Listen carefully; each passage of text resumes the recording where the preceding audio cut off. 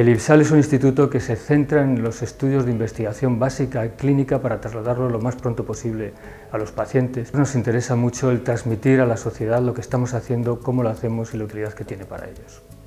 Novartis comparte con el IPSAL, con la Junta de Castilla y León, así como con otras instituciones y organizaciones, un interés genuino por fomentar la responsabilidad individual de cada uno de nosotros en el cuidado de la salud.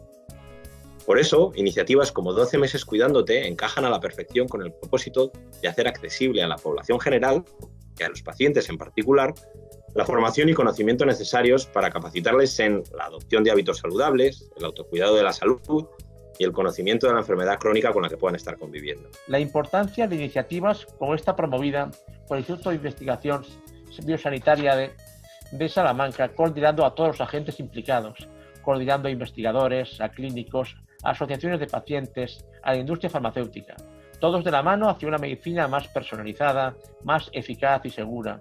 Jornadas como esta de hoy, como esta de hoy, que por supuesto contará siempre con el impulso y el apoyo de la Consejería de Sanidad, pues son jornadas muy importantes para divulgar el conocimiento y concienciar sobre la enfermedad y las necesidades de las personas que las padecen. Por eso concluyo, quiero agradecer, como no, felicitando a Lisal por la iniciativa y a Novartis como siempre, por promover y apoyar programas como el de 12 meses Cuidándote, que como decía hace un momento, contarán siempre con el apoyo y el estímulo de la Consejería de Sanidad de la Junta de Castilla y León. Muchas gracias.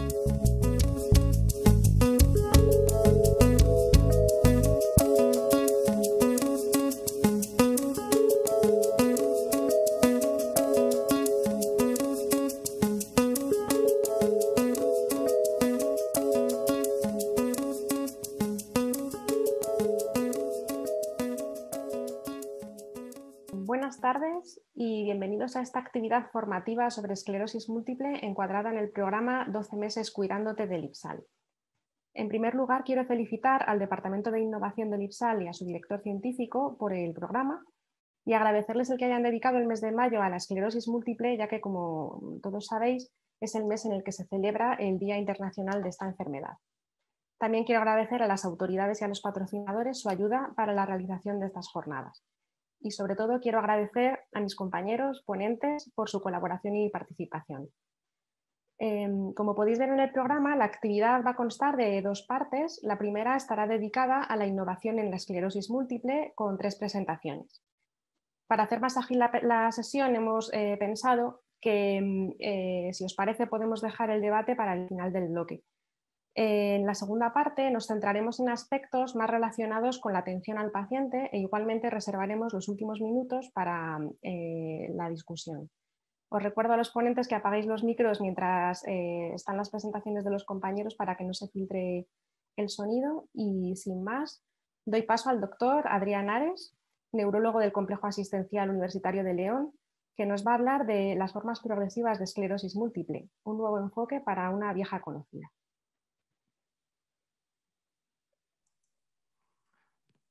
Buenas tardes, gracias doctora Verdey por la presentación y por la ocasión de estar aquí con todos vosotros. Voy a compartir pantalla.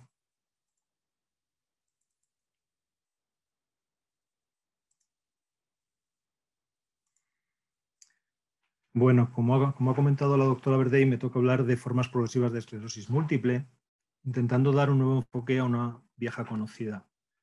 Como saben todos ustedes, la esclerosis múltiple es una enfermedad inflamatoria del sistema nervioso central en la que existe también clave desde fases muy tempranas de la misma un componente neurodegenerativo.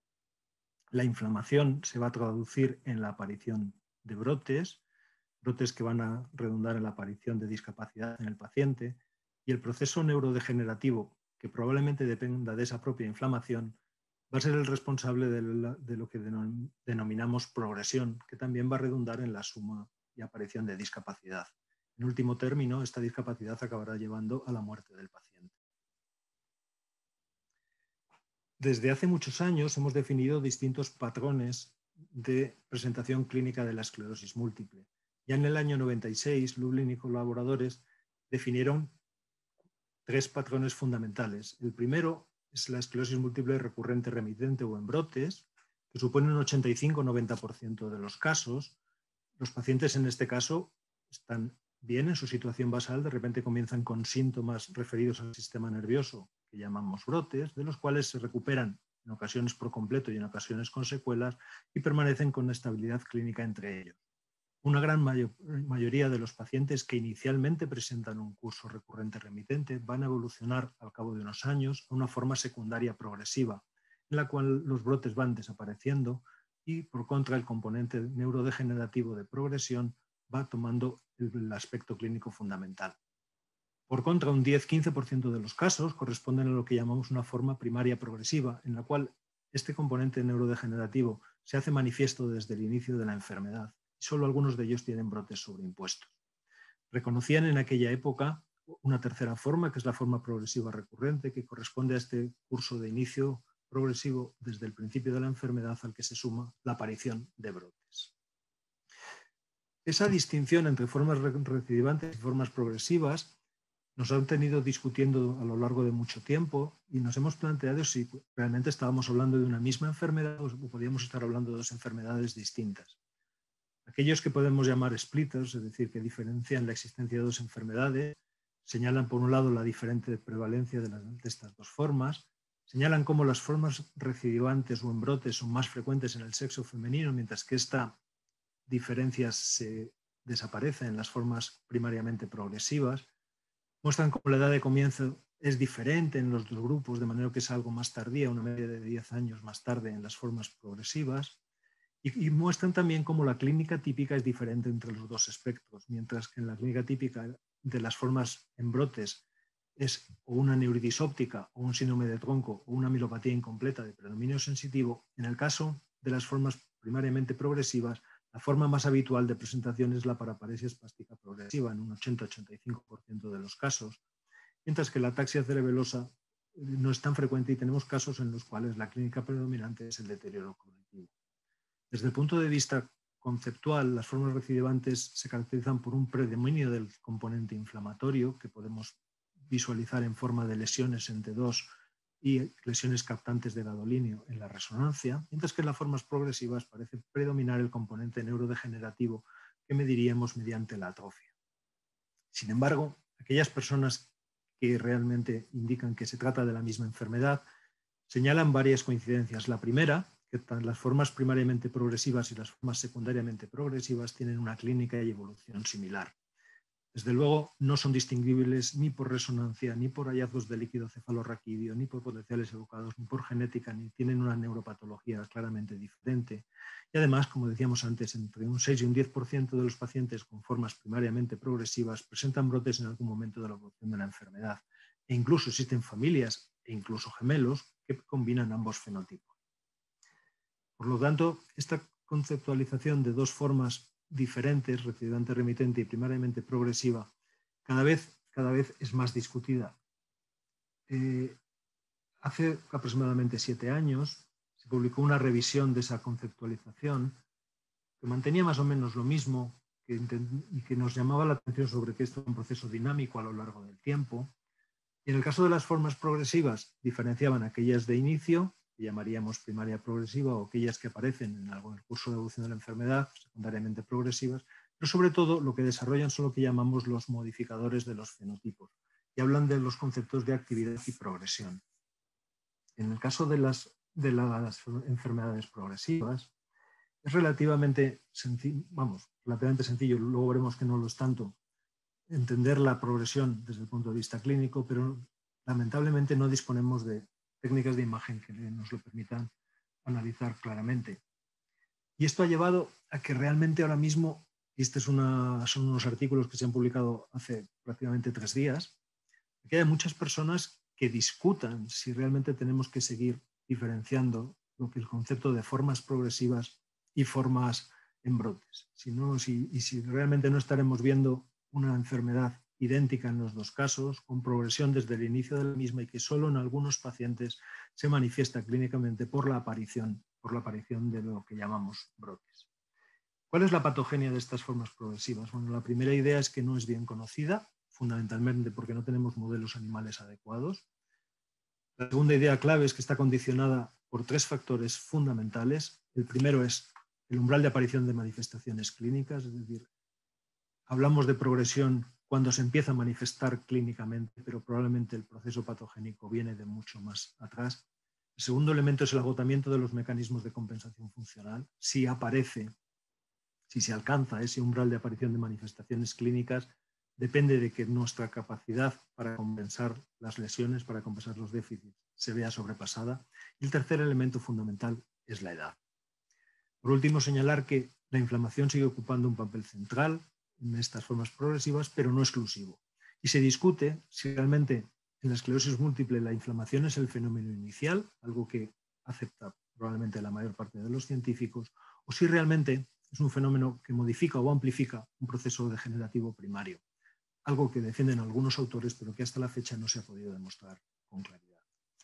¿Cuáles son las bases patogénicas de este proceso degenerativo? Bueno, por un lado, desde el punto de vista de la inflamación, lo más característico de las formas progresivas es que se produce una inflamación compartimentalizada, de manera que la respuesta inflamatoria se confina detrás de una barrera hematoencefálica intacta y aparecen estructuras características como pueden ser unos folículos linfoides sugestivos de órganos linfoides terciarios que se suelen ver en las formas progresivas predomina claramente la degeneración axonal, alcanza un papel muy importante en la activación de la microgría y junto a eso fenómenos de daño que podemos llamar genéricos o generales para cualquier proceso neurodegenerativo donde incluimos el daño mitocondrial, la aparición de productos de estrés oxidativo y la excitotoxicidad mediada por glutamato. ¿Cuál es el papel de la edad que comentaba antes, que era uno de los tres factores claves en el tema de la progresión? Bueno, pues hay que entender que el comienzo de la fase progresiva es, de, edad dependiente. A partir de cierta edad, un gran, gran número de pacientes van a entrar en esta, fase, en esta fase progresiva y es un tanto independiente de lo que ha venido ocurriendo en la enfermedad hasta entonces. Pacientes que pueden haber tenido incluso un único brote, que han estado muchos años estables, cuando alcanzan una cierta edad, estamos hablando a partir de los 40, 50 años de edad, empiezan a demostrar signos de, progresión. Entonces, como llamábamos antes la atención, todas las formas progresivas de esclerosis múltiple empiezan a una edad similar y además este hecho es independiente del comportamiento de la enfermedad hasta ese momento. Y además los marcadores patológicos de este inicio de la fase progresiva son edad dependientes e igual que en el caso anterior independientes de la fase anterior. De manera que ya el propio envejecimiento normal se asocia a datos característicos de la fase progresiva de la esclerosis múltiple como es el deterioro progresivo de sustancia blanca, la pérdida de la capacidad de remilinización, el daño mitocondrial, el acúmulo de hierro, etc. Y además un rasgo muy característico que son las que llamamos las placas lentamente expansivas que caracterizan a estas formas progresivas que empiezan a alcanzar un papel predominante desde el punto de vista patológico. ¿Cómo medimos la progresión? El profesor Ontaneda, en un artículo muy reciente, nos lanzaba esta frase tan demoledora, y es que uno de los retos principales ha sido la necesidad de medir de forma fiable y precisa la progresión clínica de la enfermedad. Esto es algo difícil, esto es algo difícil porque la progresión es un proceso lento, distinto en cada paciente, diferente en un mismo paciente a lo largo del tiempo y que incluye múltiples dominios funcionales. Clásicamente hemos utilizado una escala, que es la escala de DSS, que es la escala que utilizan las agencias reguladoras para autorizar fármacos, que es una escala que no está exenta de problemas. Una escala, primero, que no es ordinal, es decir, perdón, es una escala ordinal, no cuantitativa, es decir, que la diferencia que hay de 0 a 1 y de 1 a 2 no es una unidad, sino que simplemente es que el 1 está peor que el 0 y el 2 está peor que el 1, que muestra una importante variabilidad intra e interobservador, que representa claramente la marcha y deja un poco de lado tanto la cognición como la función de los miembros superiores, que tiene un efecto meseta en tramos altos, especialmente en un punto muy relevante en las formas progresivas, como es la EDSS-D6, que es el momento en el que el paciente se ve obligado a utilizar un bastón en todo momento para, para caminar. Y además, en los propios estudios no está claro qué, cuándo, qué rango de tiempo se debe mantener esa progresión que hemos observado en la clínica para darle valor. Utilizamos la medida de los 3, los 6, los 12 meses o incluso los 2 años. Realmente, cuanto más tiempo se haya mantenido, más robusta es la medida que estamos haciendo. Dado este efecto, estas limitaciones de la escala EDSS, se ha intentado ampliar y realmente intentamos utilizar algunos test para valorar mejor la función de los miembros inferiores, el test de los 25 pasos, o la función de los miembros superiores, que es un test de destreza que, realizamos con el test de los nueve palitos.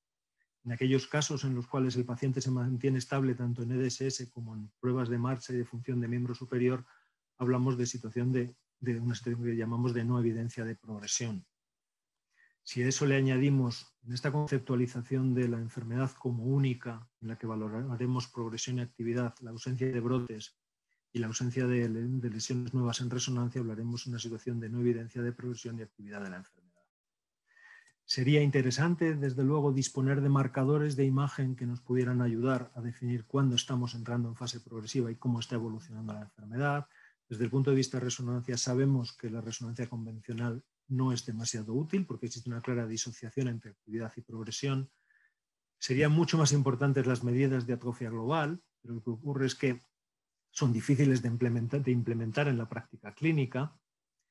Las técnicas no convencionales parece que van, a ser el futuro, tanto la, la medición de atrofia bien cortical, bien de núcleos grises profundos o de atrofia medular, y la, impresión, la utilización de secuencias específicas y escáneres de alto campo de 3, incluso 7 Teslas, nos van a permitir, aplicando técnicas avanzadas, que podamos ser capaces de diferenciar las formas progresivas de las no progresivas de forma más precisa que lo hacemos en la actualidad. Además, quizás en el futuro recurramos a otros marcadores de progresión, como pueden ser algunos marcadores de PET, la tomografía de coherencia óptica o marcadores analíticos en líquido cefalorraquídeo y suero. Y en ese sentido hay una molécula muy de moda en este momento que son los neurofilamentos. ¿Cómo manejaríamos en el momento actual la esclerosis múltiple progresiva? Bueno, pues probablemente la primera idea es que siempre que un paciente con esclerosis múltiple empiece a empeorar, debemos buscar si no existe una, una causa diagnóstica alternativa. Segunda idea importante, vamos a valorar y manejar los síntomas y eso es importante. Tercera, tercera idea, perdón, vamos a mirar las comorbilidades y podemos mejorarlas y evitar con eso, con eso el empeoramiento clínico del paciente.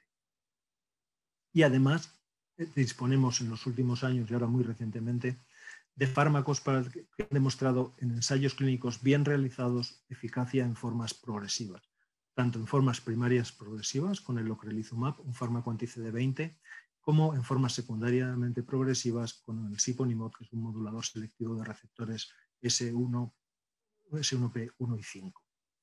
En ambos estudios, que incluyen un número suficiente de pacientes con ambos, con ambos fenotipos de forma progresiva, ha demostrado una reducción de la progresión y vamos a utilizar la confirmada a los seis meses por ser más robusta de aproximadamente el 25% y efectos favorables tanto en resonancia y atrofia en el caso de las formas primariamente progresivas como en brote, resonancia y atrofia en las formas secundariamente. Y esto es todo. Muchas gracias por vuestra atención.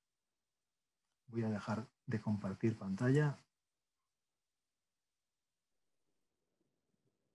Muchas gracias, Adrián.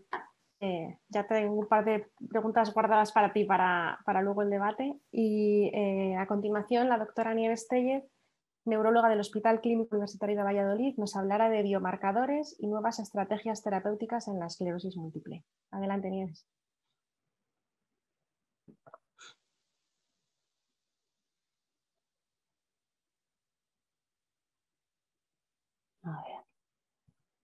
Buenas tardes a todos. Yo soy Nieves Tellez, soy neuróloga del Hospital Clínico de Valladolid y bueno, quisiera en primer lugar agradecer a los, a los organizadores del evento pues, por darme la oportunidad de estar aquí con todos vosotros y por supuesto saludo a todos los ponentes y a todos los asistentes. Voy a intentar mm, coger el relevo de la presentación previa sobre esclerosis múltiple en sus formas progresivas y bueno, mm, continuando un poco con lo que acaba de decir el doctor Ares, tenemos muchos fármacos aprobados ya actualmente para el tratamiento de la esclerosis múltiple. Son todos fármacos que tienen un mecanismo de acción predominantemente antiinflamatorio y que por lo tanto es lo que van a conseguir abortar. Somos muy eficaces en esta primera fase de la enfermedad. Sin embargo, pese a todo eso, si nos hacemos la pregunta de si podemos evitar la progresión de la discapacidad en esclerosis múltiple, teniendo en cuenta la evidencia que hoy en día eh, tenemos, la respuesta es muy sencilla, pues no, hoy en día no somos capaces de evitar la progresión de la discapacidad. Si somos un poquito más amables y en vez de evitar intentamos modificar la historia natural de la progresión de la discapacidad. ¿Somos capaces hoy en día de hacerlo? Pues la evidencia también es muy clara a este respecto. Hay trabajos que demuestran que solamente por el hecho de retrasar dos años el inicio del tratamiento en la fase inflamatoria de la enfermedad, solo por retrasar dos años el inicio del tratamiento, vamos a generar un incremento de en torno al 42% de riesgo de eh, llegar a una discapacidad moderada. Por lo tanto, hoy en día podríamos decir que el mejor tratamiento que tenemos para eh, controlar la fase progresiva de la esclerosis múltiple es el, inicio precoz e intenso del tratamiento cuando la enfermedad está todavía en una fase inflamatoria al inicio. La escala EDSS, ya nos ha hablado el doctor Ares de ella, es muy imperfecta, sin embargo, nos permite comunicarnos universalmente y una EDSS de 6 es igual aquí y en la China. Nosotros sabemos que un paciente chino que está con un 6 podríamos hacerle una foto perfectamente y nos haríamos una idea muy buena de cómo está. Entonces, es una escala que, pese a sus limitaciones, nos permite muy bien comunicarnos entre neurólogos. Esta escala, que va del 0, que supone pues, un paciente que está perfecto, al 10, que sería muerte como consecuencia de la esclerosis múltiple, nos ha permitido estudiar la evolución de la enfermedad a lo largo de los años. Y hay trabajos que demuestran que tras 30 años de evolución de la esclerosis múltiple, incluso con los tratamientos que hoy en día tenemos, en torno al 45% de los pacientes, tras 30 años de evolución, se van a mantener eh, con unas discapacidades mínimas moderadas. Pero el 35% de los pacientes, y pese a los tratamientos, va a adquirir una discapacidad moderada grave y que un 20% de los pacientes, tras 30 años de evolución de la enfermedad, puede haber fallecido pese a disponer de los fármacos que anteriormente os hemos mostrado.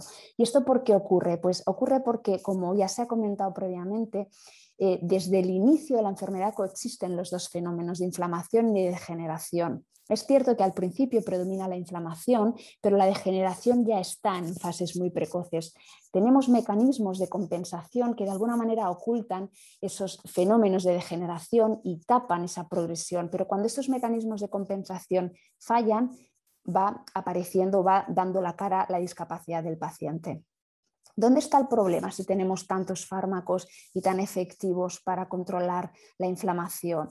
Bueno, pues porque probablemente las dianas terapéuticas en esta enfermedad son muchas eh, y no solamente la inflamación juega un papel importante. La inflamación es muy relevante, es predominante en las fases iniciales de la enfermedad. Esto es cierto. Y en este, en este eh, ámbito generalmente los neurólogos nos movemos muy bien porque somos muy capaces de medirla, tanto radiológicamente con técnicas no convencionales y a la mano de cualquier hospital, como clínicamente porque el paciente presenta brotes. Y además somos muy capaces de tratarla porque existe una gran cantidad de fármacos, todos con un mecanismo predominantemente antiinflamatorio que funcionan muy bien.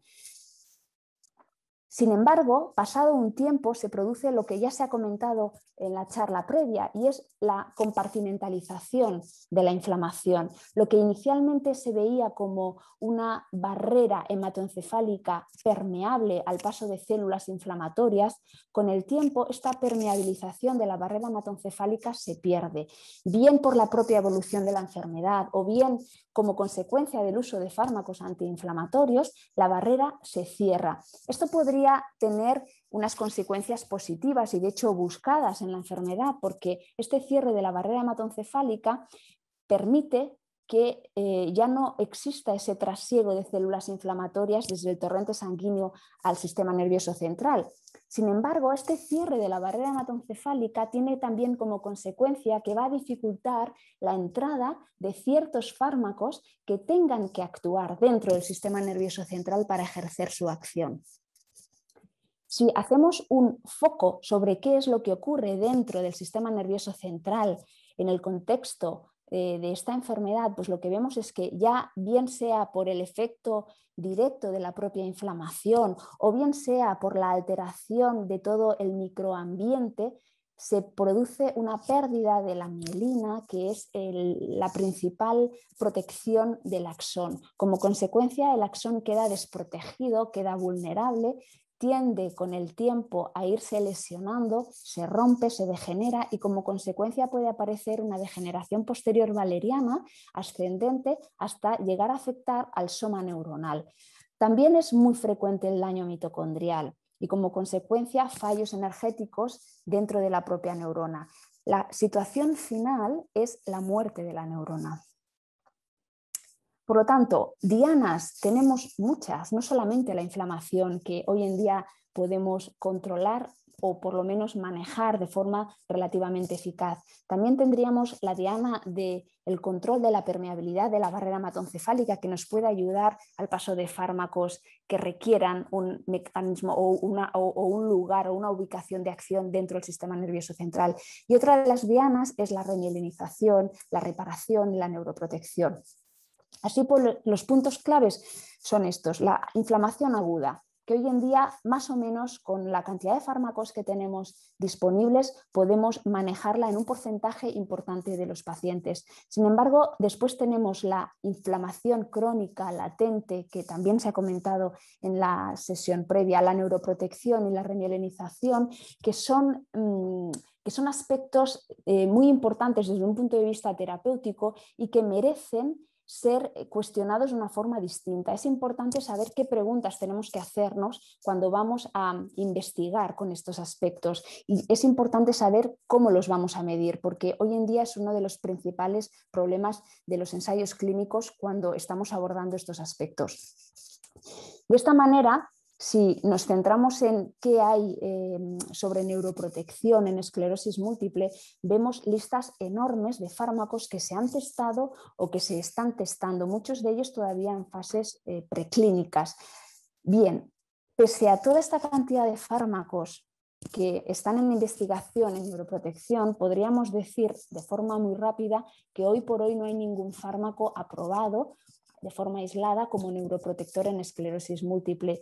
¿Y por qué? Pues porque probablemente entender la, neuroprotección como una terapia aislada en esta enfermedad sería como querer llevar a un guerrero con un casco y con una lanza y con un, em, y con un escudo a una guerra mundial. O sea, tenemos la batalla perdida de antemano.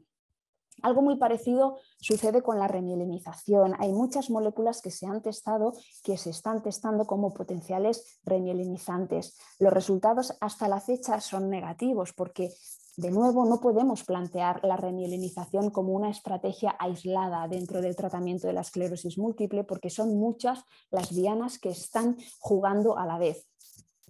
Si nos centramos en la neuroreparación y en la regeneración, las terapias que mejor cubrirían este entorno serían las terapias celulares. La terapia, la terapia con inmunoablación seguida de trasplantes de, progenitores hematopoyéticos es quizá la, que más se ha estudiado en esclerosis múltiple y es la única que hoy en día podría tener indicación en pacientes muy, muy seleccionados, pacientes jóvenes con una enfermedad de muy poquito tiempo de evolución, con muchísima carga inflamatoria, pese a, los tratamientos.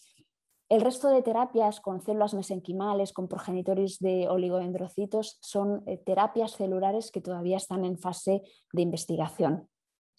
Además, hay también terapias con anticuerpos monoclonales que están testándose para estudiar eh, la, la regeneración axonal.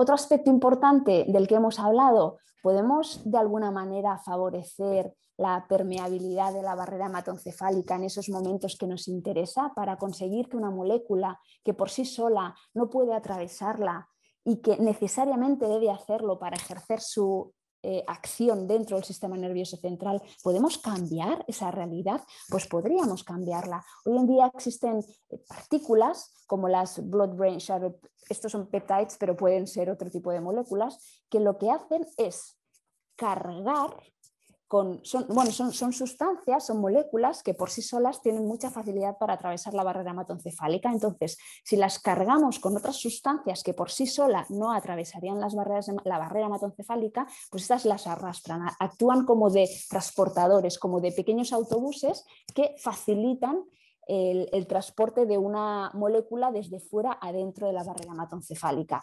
Y ya yéndonos un poco más allá, pues podemos incluso hasta abrir de forma artificial la barrera hematoencefálica Hay técnicas de ultrasonografía mediada por resonancia magnética que han demostrado que de forma local, si nos interesase, podríamos generar una apertura de la barrera hematoencefálica.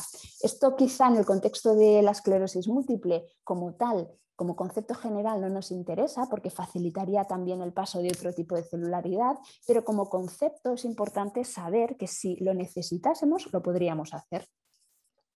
¿Y cómo medimos la neuroprotección? ¿Cómo medimos la neuroregeneración?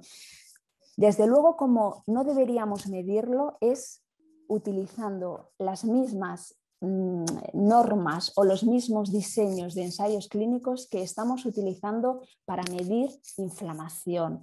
Si continuamos utilizando la escala EDSS, que sirve para lo que sirve, que es mucho, pero que no sirve para otras cosas, si continuamos utilizando la EDSS para medir neuroprotección o neurorenilinización, pues vamos a tener resultados probablemente eh, muy deficitarios de forma continua.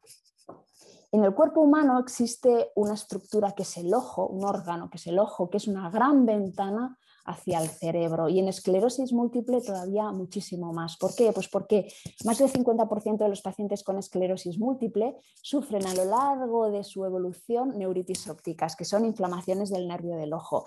Y además porque sabemos que la degeneración que se produce a nivel del sistema nervioso central se correlaciona muchísimo con el grosor de la retina, con la degeneración retiniana. De manera que si nosotros Em, queremos estudiar cómo remieliniza un nervio, podemos, o el, nervio óptico, por ejemplo, podríamos evaluarlo de forma muy sencilla con estudios de neurofisiología. Y si queremos estudiar simplemente la neuroreparación o la neuroprotección, podríamos estudiarlo a través de la OCT, que es una técnica que también se ha comentado antes y que nos permite estudiar el grosor de la retina. De esta manera, de forma indirecta, estaríamos evaluando qué es lo que ocurre en el sistema nervioso central.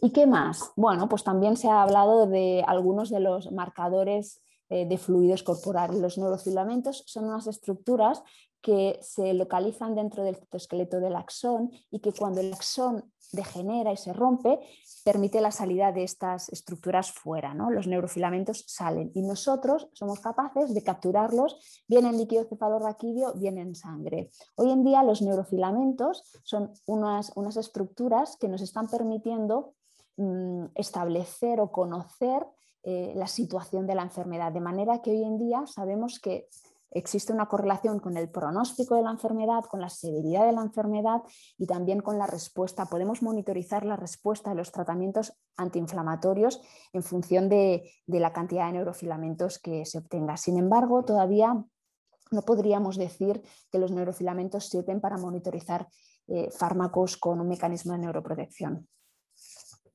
Y si hablamos de qué esperamos en un futuro próximo, probablemente no en los próximos cinco años, pero sí quizá dentro de no mucho más, vamos a seguir manejando a nuestros pacientes con terapias antiinflamatorias, porque hemos visto que esto es lo que sí, seguro, que modifica la historia de la progresión de la discapacidad no la para, pero sí que la modifica de forma significativa. O sea que vamos a seguir utilizando terapias antiinflamatorias, probablemente cada vez de una manera más precoz y de una manera más contundente. Sin embargo, es previsible que no dentro de mucho tiempo, al inicio de esta terapia antiinflamatoria, le vayamos añadiendo ya fármacos con capacidad regeneradora y protectora. Como mensajes para llevarnos a casa, pues eh, es importante recordar que pese a la gran cantidad de fármacos que hoy en día tenemos, todos tienen un mecanismo de acción predominantemente antiinflamatorio y que no son suficientes para detener la evolución de la enfermedad.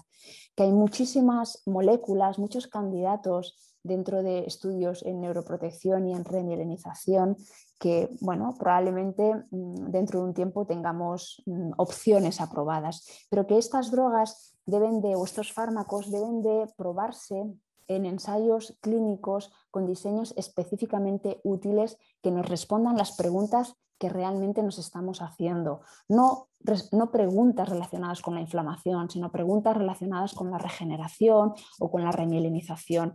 Va a ser difícil el bench to bed, va a ser difícil demostrar que aquello que funciona en el animal también funciona en el cerebro humano. ¿Por qué? Pues porque hay en el cerebro humano hay muchísimos mecanismos que van a intentar boicotear constantemente todas aquellas moléculas que nosotros queramos probar. Va a ser difícil, pero probablemente lo conseguiremos. Os dejo aquí unos, algunos de los artículos que han sido muy relevantes para el diseño de esta charla y nada más. Quería agradeceros por vuestra atención. Voy a intentar dejar de compartir. Muchísimas gracias, Nieves. La verdad es que ha sido una charla estupenda. Eh, y bueno, estoy segura de que la siguiente presentación va a suscitar un gran interés, eh, dados los tiempos que corren. La doctora Vega Benito es médico del Servicio de Medicina Preventiva del Complejo Asistencial Universitario de Salamanca y eh, la verdad es que nos presta gran ayuda en el día a día con nuestros pacientes porque nos ayuda en la planificación de las vacunas de aquellos pacientes que pasan a segundas líneas de tratamiento y precisamente nos va a presentar la actualización del programa de vacunación al paciente con esclerosis múltiple. Vale, pues de nuevo agradecer a las personas que han hecho posible estas jornadas eh, contar con nosotras como preventivistas. En el día a día creo que tenemos bastante relación con vosotros los neurólogos y bueno, como dices, es un tema candente en el que seguro que aclararemos bastantes dudas, que sobre todo a la población general y a vuestros pacientes en concreto de esclerosis múltiple les parecerá muy interesante. Y también seguramente no todo el mundo considere que sea justo, pero es salud pública y al final es lo que tiene que prevalecer. Bueno, eh, tenemos un sistema establecido con los compañeros de neurología, de, en concreto del Hospital Clínico Universitario de Salamanca, lo que hacen los compañeros cuando diagnostican un caso de esclerosis múltiple y van a iniciar estas terapias inflamatorias que han comentado anteriormente, nos lo remiten para valorar un poco el calendario de vacunación que tienen los pacientes y adaptarlo a las necesidades que vayan a tener eh, los pacientes de esclerosis múltiples en un futuro. Como sabéis, la mayoría de los tratamientos que pautáis son tratamientos eh, inmunosupresores o que bajan las defensas, ¿vale? En función de esto, hay unas recomendaciones generales que se aplican a todos los pacientes. Fundamental no administrar vacunas de virus vivos. En este caso sería la vacuna de la polio oral, que no se administra en nuestro país. La triple vírica y la varicela, que sí que están a la orden del día. Tendríamos por otro, en otro lado la fiebre tifoidea, que se administra por vía oral, el Vivotif, y la fiebre amarilla. En este caso, esas dos vacunas se administrarían solamente a pacientes que vayan a viajar al extranjero. El extranjero decimos porque muchas veces nos vamos, por ejemplo, a Marruecos y creemos que como está aquí al lado no hay que vacunarse, pero serían, por ejemplo, la fiebre tifoidea una de las vacunas a administrar. Y, por ejemplo, la fiebre amarilla pues serían en viajes que ya hiciéramos a Sudamérica o a África.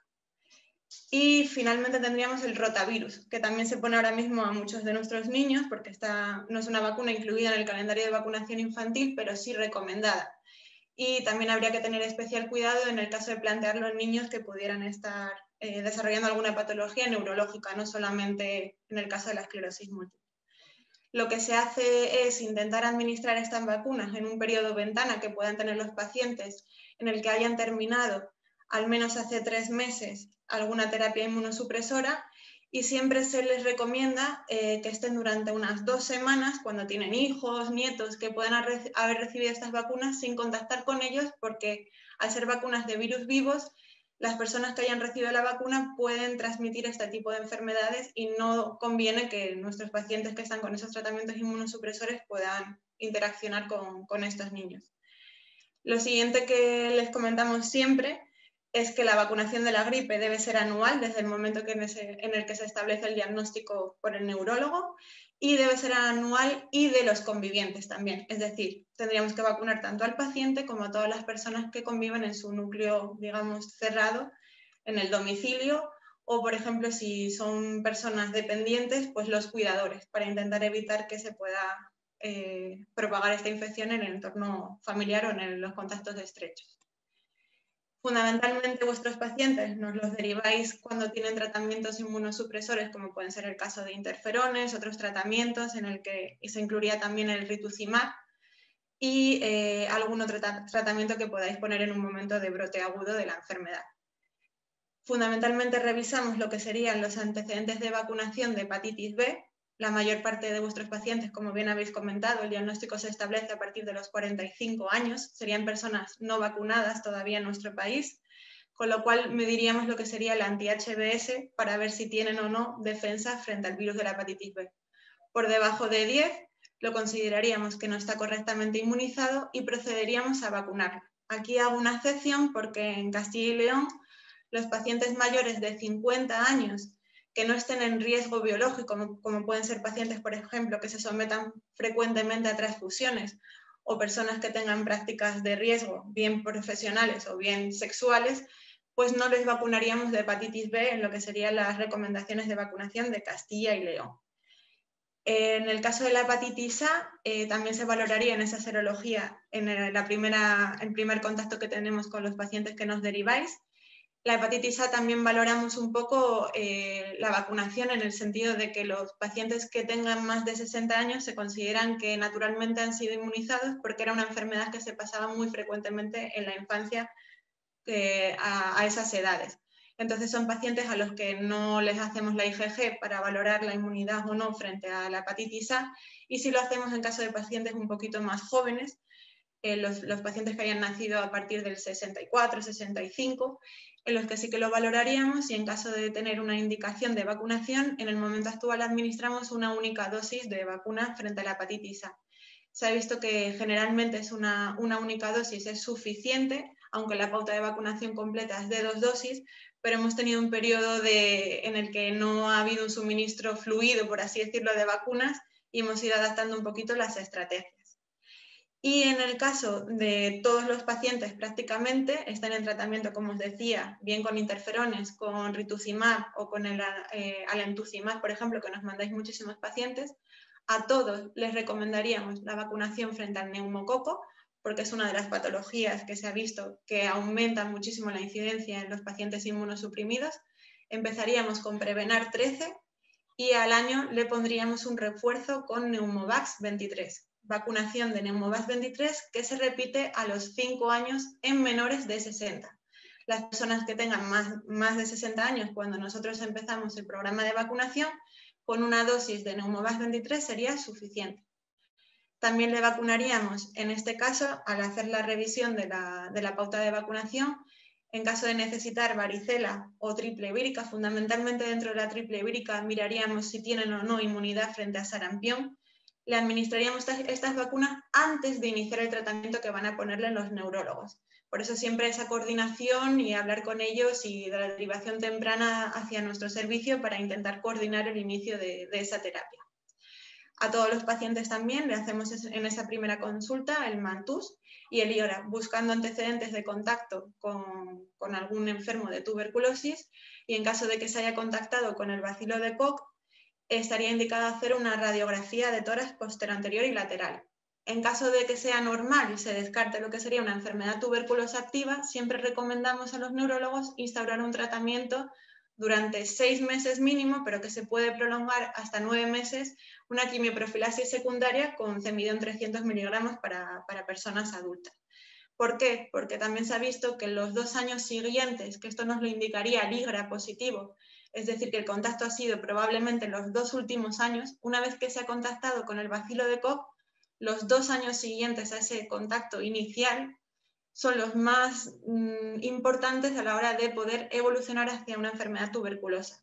Y en el caso de un tratamiento inmunosupresor, al bajar las defensas, ese bacilo de Koch que, digamos, permanecía dormido en el interior del organismo del paciente, al bajar las defensas puede reactivarse y también se ven muchos repuntes de casos de tuberculosis pulmonar en pacientes que han iniciado terapia, sobre todo entre los 6 meses y los 13, 14 meses después del inicio de tratamiento, si no se ha hecho una buena quimioprofilaxis secundaria con, el tratamiento con cemidón en pacientes que hayan contactado. En el caso del ibrutinib, que es otro de los tratamientos o los fármacos que estáis poniendo últimamente, añadiríamos a estas recomendaciones la recomendación de vacunación con el meningococo.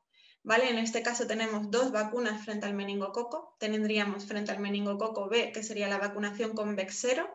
Serían dos dosis separadas entre ellas dos meses. Y por otro lado tendríamos la vacunación con eh, lo que conocemos hoy en día como la vacuna de ACWY, que sería la de Nimenrix. También dos dosis separadas un intervalo de dos meses entre una primera y una segunda dosis. ¿Por qué?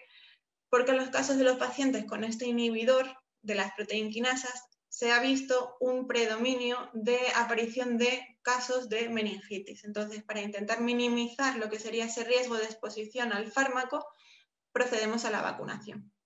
Y el resto más o menos sería similar al resto de pacientes. Y luego otro de los tratamientos que también nos han comentado los compañeros en las ponencias anteriores, el eculizumab, que también lo utilizáis mucho en los últimos tiempos, que es el anti-CD20, pues en este caso también incluiríamos la vacunación con meningococo por ese eh, aumento de la probabilidad o un riesgo aumentado al iniciar estos tratamientos de una posible meningitis eh, bacteriana, en este caso bien por el meningo B o por las nuevas cepas, que sabéis que está habiendo un cambio de cepas en nuestro país hacia la WY, que además muchas veces no se identifican hasta una fase un poco más tardía porque dan clínica fundamentalmente digestiva y no, se correlaciona. Y la vacunación frente al COVID, que digamos que sería lo que ahora mismo nos estamos todos y es el foco de, de todas las llamadas y todas las consultas y dudas que estamos teniendo en el servicio. Ahora mismo en el complejo asistencial de Salamanca estamos vacunando lo que sería el grupo 7, Grupo 7, así por generalizar, serían los pacientes oncológicos diagnosticados en los últimos cinco años o con tratamiento activo en el último año, tratamiento que puede ser quimioterapia, radioterapia, inmunoterapia o tratamiento, por ejemplo, intravenoso. Tendríamos también en este grupo pacientes hemodializados, tendríamos pacientes que hayan sido sometidos a un trasplante de órgano sólido, pacientes hematológicos y pacientes VIH con un, un CD4 menor de 200. Estos serían los grupos que actualmente estamos vacunando según la estrategia ministerial por ser el grupo 7. ¿Por qué se vacunan desde el hospital?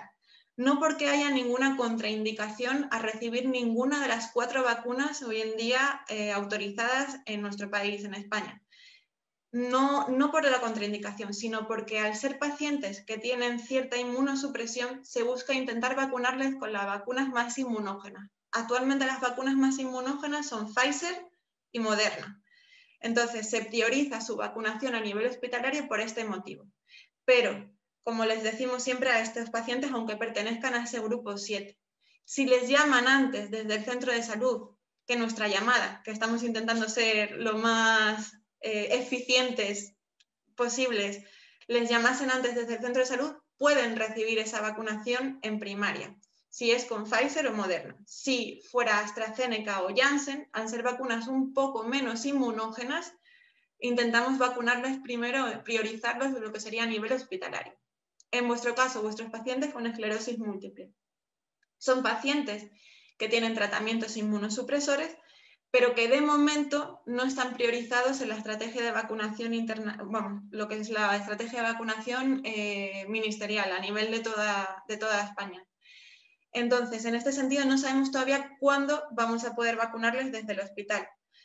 ¿Qué es lo coherente? Lo coherente es poner una balanza y decir riesgo-beneficio. Yo creo que merece la pena recibir la vacunación frente al COVID lo antes posible, independientemente de cuál sea esta vacunación, sea Janssen, sea AstraZeneca, sea Pfizer o Moderna. Los efectos secundarios de la vacunación que estamos viendo, hemos vacunado a todos los profesionales del hospital, estamos vacunando a muchísimos pacientes diariamente, son los mismos con todas las vacunas. Sabéis ya que la EMA se ha pronunciado, igual que la OMS, en que no hay un aumento, digamos, relacionado con ninguna de las vacunas específicamente del riesgo de trombosis. Sí se ha establecido contraindicaciones a la vacunación en aquellos pacientes que presenten eh, alergia o anafilaxis a algún componente específico de la vacuna, que es rarísimo que se dé, y solamente en aquellos casos en los que al haber instaurado un tratamiento con heparina hayan aparecido casos de trombosis relacionados con este, en este tratamiento, en esos casos sí valoraríamos la vacunación con ARN mensajero. pero en el resto del paciente, aunque hayan tenido anteriormente una trombosis, no hay una contraindicación clara, con lo cual pueden recibir cualquier vacuna. La vacunación, como sabéis, son los, vamos, es el medicamento más seguro hoy en día, lo que es las vacunas. Todos los medicamentos tienen riesgos y sería asumir ese porcentaje ínfimo de posibles complicaciones, como sería una trombosis, que sabéis que es uno de cada miles, por no decir millones de personas que puede haberse relacionado directamente con la vacuna, y sería explicarle al paciente y que él asumiera eh, libremente el riesgo de quererse vacunar o no. Por otro lado, eh, es muy importante eh, explicarle a la gente que aunque haya recibido la vacunación, hasta que no se completa la pauta de vacunación, es decir, Pfizer, Moderna y AstraZeneca son dos dosis, y en el caso de Janssen una dosis, hay que esperar dos semanas después de la vacunación completa para considerar que la persona está inmunizada. Estar inmunizada no significa no poder contraer la enfermedad o no poder ser infectivo. Sí que hemos visto a lo largo de estos meses que es muy posible, y así lo, lo avalan estudios que se están realizando, que las personas vacunadas tengan una menor transmisión del virus, porque es cierto que la replicación a nivel nasofaringeo cae muchísimo. Pero también es cierto que han aparecido nuevas variantes, sabéis, últimamente se habla mucho esta última semana de la variante india, y que quizás son variantes que no protegen eh, al 100% la vacunación que hacemos. También nos pasa todos los años con la gripe. Sabéis que las vacunas de la gripe se preparan con las cepas que circulan en el hemisferio sur, las vacunas del hemisferio norte, y que muchas veces a lo mejor circulan en esa campaña cinco variantes o cinco cepas, en este caso de la gripe, y la vacuna lleva cuatro. Nos podemos estar protegidos frente a esas cuatro, y a lo mejor esta se nos escapa, pero casi toda la población va a estar protegida, ¿vale? Eh, esa población protegida no, no, está protegida de poderse coger una gripe, es decir, pueden enfermar de gripe, pero no desarrollarán eh, las patologías o las comorbilidades asociadas a una gripe grave. Sabéis que hay ingresos en UCI, muertes, meningitis relacionadas y eh, cuadros importantes de neumonía. Pues lo mismo pasa con el coronavirus. Estar completamente vacunado no evita que puedas infectarte con coronavirus, pero sí estamos viendo que aunque se puedan infectar personas que están completamente vacunadas, no desarrollan esos cuadros graves que mm, muchas veces llevan no solamente al ingreso, sino a la muerte del paciente. Sé que, bueno, seguro que tendréis algunas dudas, pero así en general sería, digamos, la estrategia que hoy en día se está siguiendo, por lo menos aquí en nuestra comunidad autónoma. Y nada más, quería ser breve. Vale, dejo de compartir. Muchas gracias, Vega. Em, bueno, si os parece, abrimos el turno de debate y, bueno, pues mm, yo aprovecho para preguntarte, Vega, em, últimamente nos estamos encontrando algunos pacientes que eh, no están vacunados frente al sarampión, em, sobre todo en algunas, eh, en algunas generaciones, en algunas promociones. Y em, algunos de esos pacientes ya están con tratamiento inmunosupresor, mm, algunos de ellos con fármacos de segunda línea. Mm, ¿Qué, nos recomiendas en ese caso? Si detectamos que el paciente no está inmunizado frente al sarampión, eh, lo que tiene que hacer es tener mucho cuidado de no coger el sarampión o, realmente merece la pena o habría que retirar el tratamiento para, para vacunarle. Yo no soy partidaria de retirar los tratamientos porque se supone que los pacientes, como bien han dicho tus compañeros, cuanto más precoz el inicio de esas terapias, mejor es la evolución o mejor es el retraso de esa discapacidad. Creo que lo, lo, que siempre le comentamos a los pacientes, hasta que no terminen el tratamiento inmunosupresor, que muchas veces se prolonga prácticamente toda la vida el resto de la vida del paciente. Nos pasa también con pacientes de enfermedad inflamatoria intestinal, con pacientes también derivados de otras consultas. Lo que se les recomienda es muchísimo cuidado en el contacto con niños, ¿vale? Que son las personas que fundamentalmente van a presentar estas enfermedades. Cuidado, en eso que os he recomendado antes, las personas que hayan recibido estas vacunas de virus vivos, incluida la del rotavirus, estar siempre pendientes de esos eh, nietos o esos hijos que puedan tener los pacientes, que tienen que estar una, una semana después de haber administrado al niño el rotavirus no debe contactar con, esa persona que esté con tratamientos inmunosupresores y en el resto de vacunas serían dos semanas. Sé que muchas veces es duro porque nos dice la madre, pero ¿cómo me voy a separar de mi hijo yo una semana o, el abuelo? Pero es lo único que le podemos decir, es decir, precaución porque no podemos inducir, o sea, no podemos inocularle a una persona una vacuna de virus vivos en esa situación de inmunosupresión, porque aunque seguramente Mm, seguramente pasarían muy pocos casos que se desarrollase la enfermedad, pero como no hay estudios suficientes, porque no, es, no son vacunas que estén probadas en este tipo de población, igual que tampoco se administran a mujeres embarazadas, creo que lo prudente es no vacunarles hasta que al menos hayan pasado tres meses sin ese tratamiento. Y las recomendaciones son preventivas, por así decirlo. Muy bien, muchas gracias. Em, quería, Adrián y Nieves, casi os voy a hacer una pregunta que es muy parecida a ambos, ¿vale? Cada uno un poco en el aspecto que, habéis tocado. Yo quería preguntaros si creéis que ahora que vamos a tener eh, nuevas estrategias terapéuticas o que tenemos nuevas estrategias terapéuticas para em, tratar la progresión, si creéis que vamos a cambiar la manera de diagnosticarla. Es decir, ¿creéis que hasta ahora hemos estado un poco agachando la cabeza y, eh, em, no queriendo ver que el paciente progresa para poder mantener un tratamiento antiinflamatorio más tiempo? Adrián, ¿quieres empezar? Sí, vale. Venga, me lanzo yo a la piscina. A ver, mm, honestamente creo que disponer de cualquier herramienta te va a inducir a utilizarla. Eso es algo que para mí es obvio. Y obviamente en el caso de, las formas primarias progresivas y más recientemente en el caso de las formas secundarias progresivas, esos diagnósticos van a salir a la luz antes y nos van a llevar a tomar decisiones terapéuticas en consecuencia.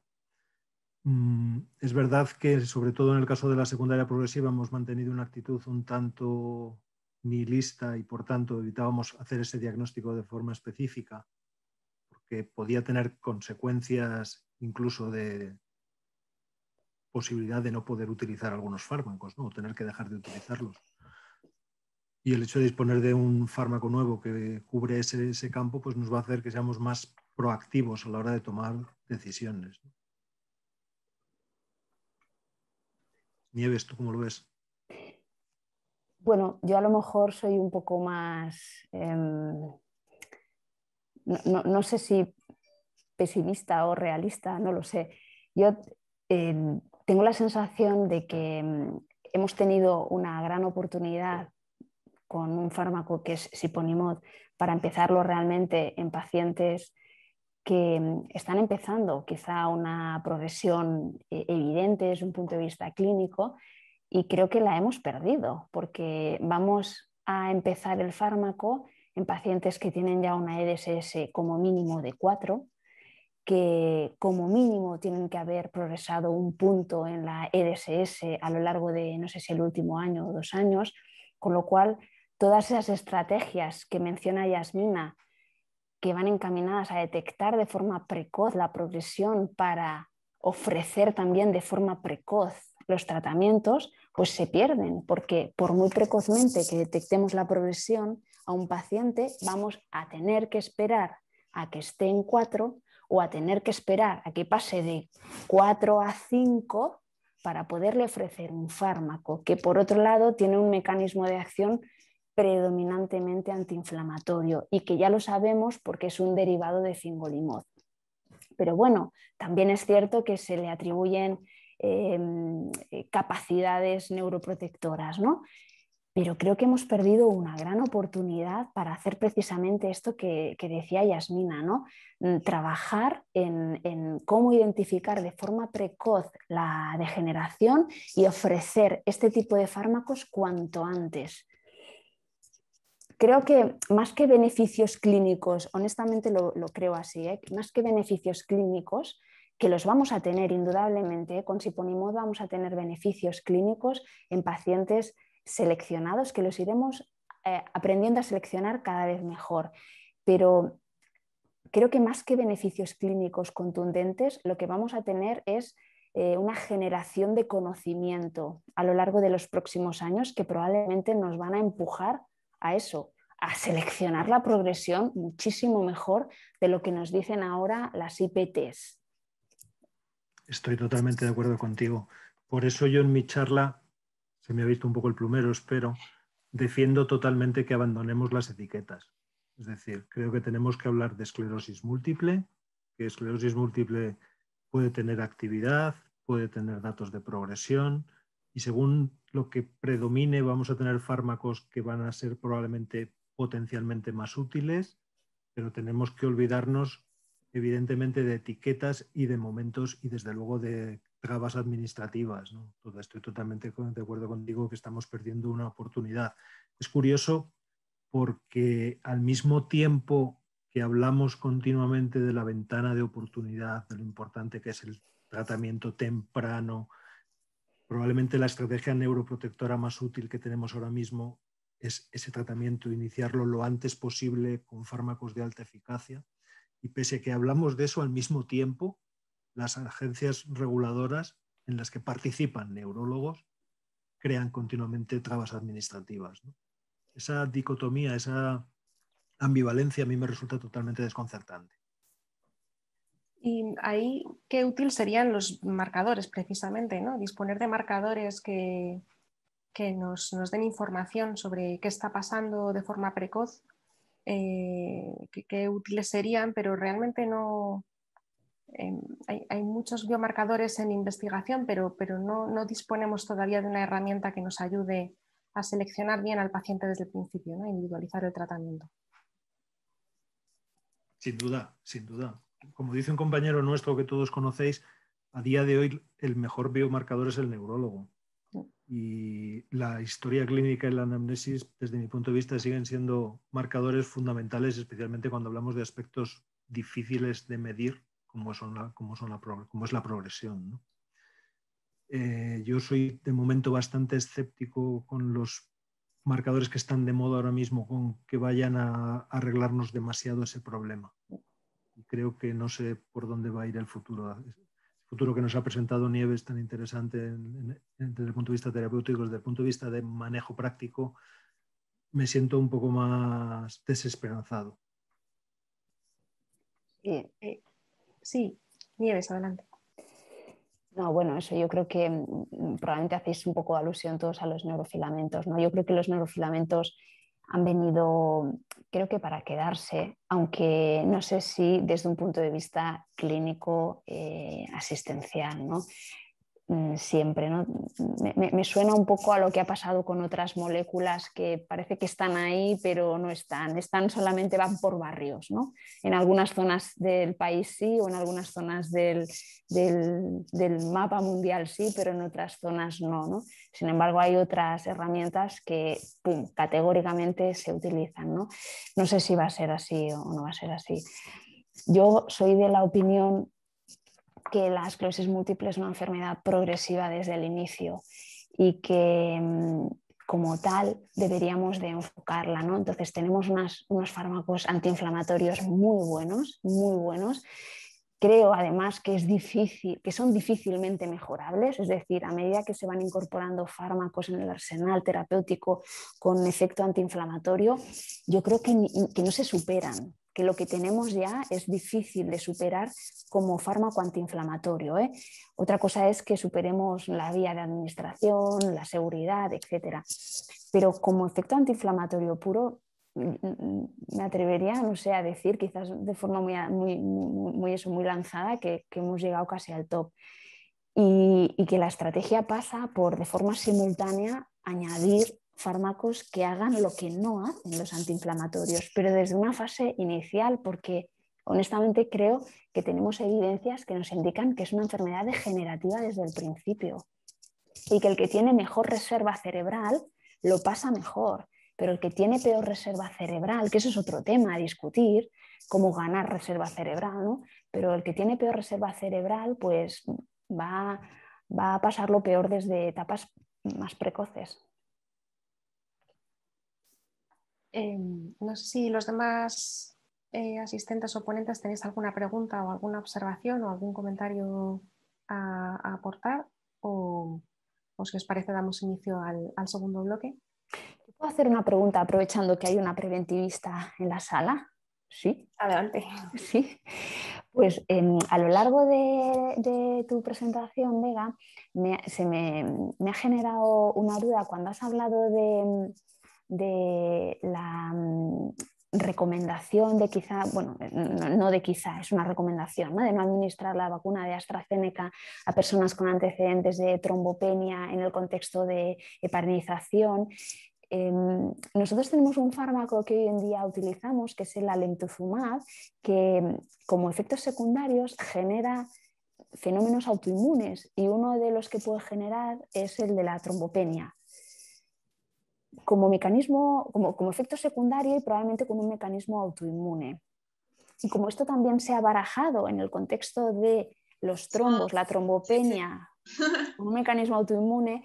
Yo no sé si esto, en el contexto de la lentuzumab, tendría una valoración, podría tener una valoración distinta o un análisis distinto. Sí, nosotros como preventivistas es algo que sí que hemos comentado en nuestros grupos internos. Sí que es algo que de momento no se ha matizado por así decirlo, no se ha recogido dentro de la estrategia de vacunación ni la contraindicación ni la recomendación específica hacia una u otra vacuna. Lo que sí que es cierto es que a pesar de este proceso que al final es autoinmune, lo que estamos viendo, los posibles trombos que se han relacionado con la vacuna, parece ser, porque todavía está en estudio, que pueden tener ese cierto componente autoinmune. Lo que sí que se ha visto es que es muy raro, es decir, incluso en personas que han tenido este proceso con, por ejemplo, con tratamientos con heparina, se ha visto que en un porcentaje muy bajo de esas personas han tenido problemas a la hora de administrar la vacunación de AstraZeneca, Janssen o llámese Moderna o Pfizer. Te lo digo porque sí que estamos viendo en el hospital, y me imagino que vuestros compañeros allí en Valladolid igual, estamos viendo los mismos efectos adversos con las cuatro vacunas ahora mismo que están disponibles. Entonces, sería por mi parte imprudente decir que con AstraZeneca sí, sí o con Pfizer no, porque es que estamos viendo exactamente lo mismo. Ahora, yo me plantearía, realmente en la primera fase la mayor parte de los pacientes fallecieron por procesos trombóticos, es decir, llegabas y lo hemos visto todos, entrabas en la habitación, estaba bien la persona, volvías a entrar y había tenido un cuadro agudo en uno de estos procesos. Quizás la vacunación del coronavirus en cierta forma, igual que nos está dando fiebre, que seguro que muchos de vosotros al haber recibido la vacuna habéis pasado por fiebre, dolores musculares generalizados, nos cuenta la gente mucho dolor de cabeza, incluso hemiparesia en algunos casos, podría estar relacionado también con ese propio coronavirus, aunque solo se inyecte lo que sería la proteína spike, eso podría estar activando de cierta forma ese componente autoinmune que pueda estar relacionado con esos mecanismos, no lo sé. Por eso os digo, está todo muy en estudio, muy en el aire. De momento lo único que está claro es que en las personas que tengan ese, riesgo, eh, la vacunación tiene que manejarse en un riesgo-beneficio.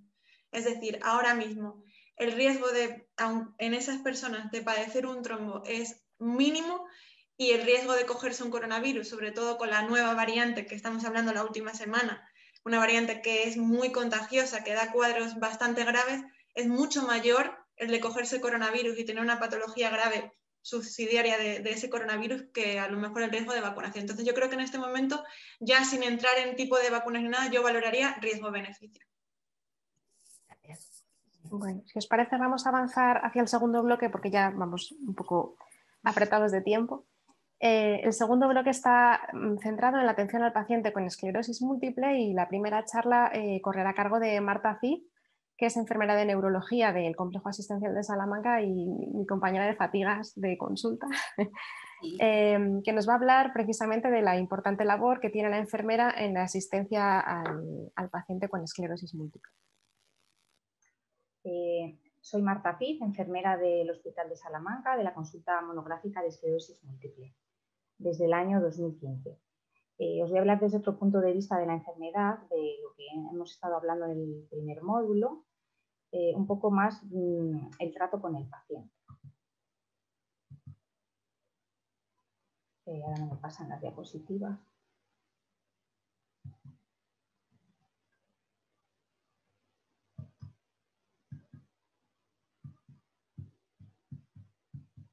No me pasan las diapositivas. A ver, vuelvo a estar aquí. ¿No te pasan? No.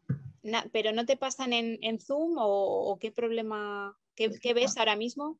Veo mi pantalla compartida y, no me, van los, no sé por qué no me van los... Vale, y si pinchas encima, que también se suele pasar así, cuando pinchas encima, no.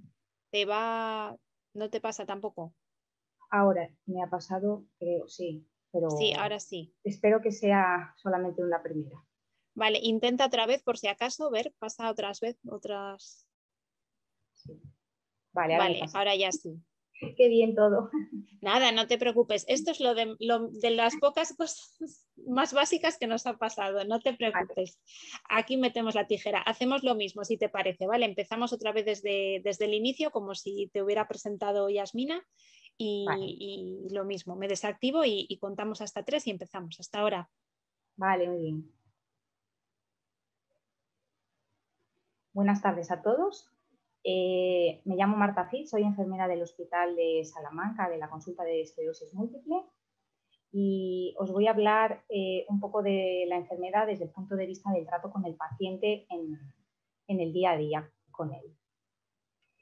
Eh, la enfermería es uno de esos eslabones que entran dentro de ese gran equipo multidisciplinar que forma la consulta monográfica de esclerosis múltiple de nuestro hospital y de cualquier otro hospital. Eh, realmente, a día de hoy, nos gustaría que todo fuera un poquito más eh, ideal, ¿no? Eh, que el paciente en cada momento de sus fases de la enfermedad pudiera acceder a cada uno de esos eslabones de manera rápida y eficaz y a veces no siempre es tan fácil, ¿no? Pero bueno, de alguna manera entre el equipo de personas que trabajamos para los pacientes, al final siempre se consigue que todo, que todo vaya bien. Eh, las enfermeras eh, trabajamos eh, todas a uno con un mismo objetivo, da igual el tipo de paciente, el tipo de patología, incluso el, medio de trabajo, ¿no? el ámbito profesional, ya sea la, atención especializada en la consulta o en, en hospitalización, o ya sea en la atención primaria, eh, de manera que el objetivo final es que nuestros pacientes lleguen a ser totalmente independientes dentro del trato de su enfermedad, ¿no? De manera que en un principio la enfermera hace un papel de, como de apoyo o de sustituta en, aquellas tareas que el paciente no es capaz de hacer en un principio, eh, con el objetivo de que finalmente este controle totalmente su enfermedad, tratamiento, bueno, porque pues de alguna manera nosotros pasemos a un segundo plano y solamente seamos su apoyo y su consejo en el momento que el paciente nos lo pida. En la consulta de enfermería, eh, una vez que el paciente ya está ah, con nosotros, hay unos objetivos, ¿no? Los objetivos generales pues como os decía antes, que adquiera esos conocimientos necesarios para, lograr su independencia lo antes posible y que se sienta satisfecho con, esos conocimientos. Y siempre va a participar en medida de lo posible de su, si tiene, más o menos discapacidad, en la administración de su propio tratamiento si éste lo tuviese. Dentro de los objetivos más específicos, eh, nos encargaríamos de asesorarle, de informarle y de educarle tanto a él como a su familia, ya que cuando el paciente acude a la consulta, normalmente siempre lo hacen con algún familiar, cosa que al final nos gusta bastante porque de toda la información que recibe el paciente, pues quizás se quede con un 50%, ¿no? Y el otro 50%, pues quizás se quede su familiar y cuando llegan a casa se, pues bueno, se autocomplementan, ¿no? Siempre intentaremos promover en los pacientes una actitud positiva ante esta enfermedad y también a sus familiares, ¿no? Hablarle siempre de los aspectos positivos una vez que ya tiene ese diagnóstico, ¿no? Esa mala noticia, eh, pues bueno, de manera que estamos en un siglo, que la investigación está muy avanzada, bueno, pues darle todos esos puntos positivos para que no solo vea eh, el, lado malo, ¿no? Eh, el, objetivo también es que también se sientan arropados en todo momento, ¿no? no solo al principio o programadamente, sino siempre que este paciente tenga un problema una duda, estemos ahí para poder resolvérsela. Y también un poco el papel de la enfermera en la consulta es, eh, bueno, pues ser un poco el apoyo del neurólogo, ¿no? La mano derecha o la mano izquierda, eh, cuando éste lo precise. Dentro de la organización de la consulta, eh, podríamos dividirla en una serie de fases. ¿no? la primera consulta sería cuando el paciente acude por primera vez, cuando ya se ha hecho las pruebas o se las va a hacer, al inicio de ese diagnóstico ¿no? o de ese inicio de tratamiento, pues para poderle resolver todas las dudas que traiga de casa apuntadas o en su cabeza y para el entrenamiento con, placebos de los medicamentos que va a recibir ese paciente, sobre todo los medicamentos de primera línea, ¿no? que son los que se suelen autoinyectar los pacientes. En esa primera consulta también se podrían hacer las analíticas eh, de inicio si, constan que se deben hacer o eh, analíticas de, embarazo, test de embarazo. Eh, informar a ese paciente cómo va a ser todo a partir de ahora, cómo se va a organizar la consulta, cada cuánto va a venir, darle un poco de apoyo emocional si éste lo precisa, que a veces ellos mismos son los que desencadenan en la conversación y, te hacen esas preguntas que las tienes que enfocar desde el lado de, desde el punto de vista positivo para, para que los pacientes lo absorban todo, con toda la positividad posible. Eh, las consultas a demanda también es una cosa muy frecuente en estos pacientes, ya que ellos siempre dentro de su enfermedad, pues bueno, siempre te consultan con cosas que notan o cosas que dudan. Entonces, siempre puedes solicitar nuestra ayuda en cualquiera de, los momentos de su enfermedad, ¿no? Pues también, pues, problemas con la medicación, pues se me ha roto el inyector, se me ha salido el líquido de la, medicación, no sé qué hacer, eh, creo que tengo un brote, bueno, pues cualquier tipo de, duda que, que son miles siempre, ¿no? Eh, y una tercera parte, que serían las consultas programadas. Estas serían siempre en conjunto con el, con el, neurólogo, con el médico en la consulta. Eh, los meses de plazo entre una consulta y otra siempre va a depender del tipo de medicación que tenga el paciente y de las analíticas que, este medicamento requiera. ¿no? Pues pueden ser cada tres meses, cada seis o dependiendo en función de las necesidades del paciente también. En estas consultas programadas y conjuntas hacemos una valoración general del paciente, tanto del seguimiento del, tratamiento, cómo se ha adherido a él, si tiene problemas con las inyecciones, si tiene problemas con la medicación oral, le valoramos las analíticas, incluso a veces eh, podemos captar cosas que no son solo de la esclerosis múltiple, múltiple, sino de otras patologías que a lo mejor nos da pistas en los patrones analíticos del paciente. ¿no? También ver cómo está el estado emocional del paciente, cómo está llevando esa enfermedad, cómo lo está llevando su familia, cómo lo están asumiendo y un poco a ver en qué, fase de, en qué fase del duelo se encuentra este paciente para poder valorar si pudiera necesitar ayuda psicológica. Eh, otras cosas que valoramos en, en este tipo de consultas, que suelen ser pues, bueno, a lo largo de la vida de estos pacientes, son los mm, típicos problemas invisibles de la enfermedad, ¿no?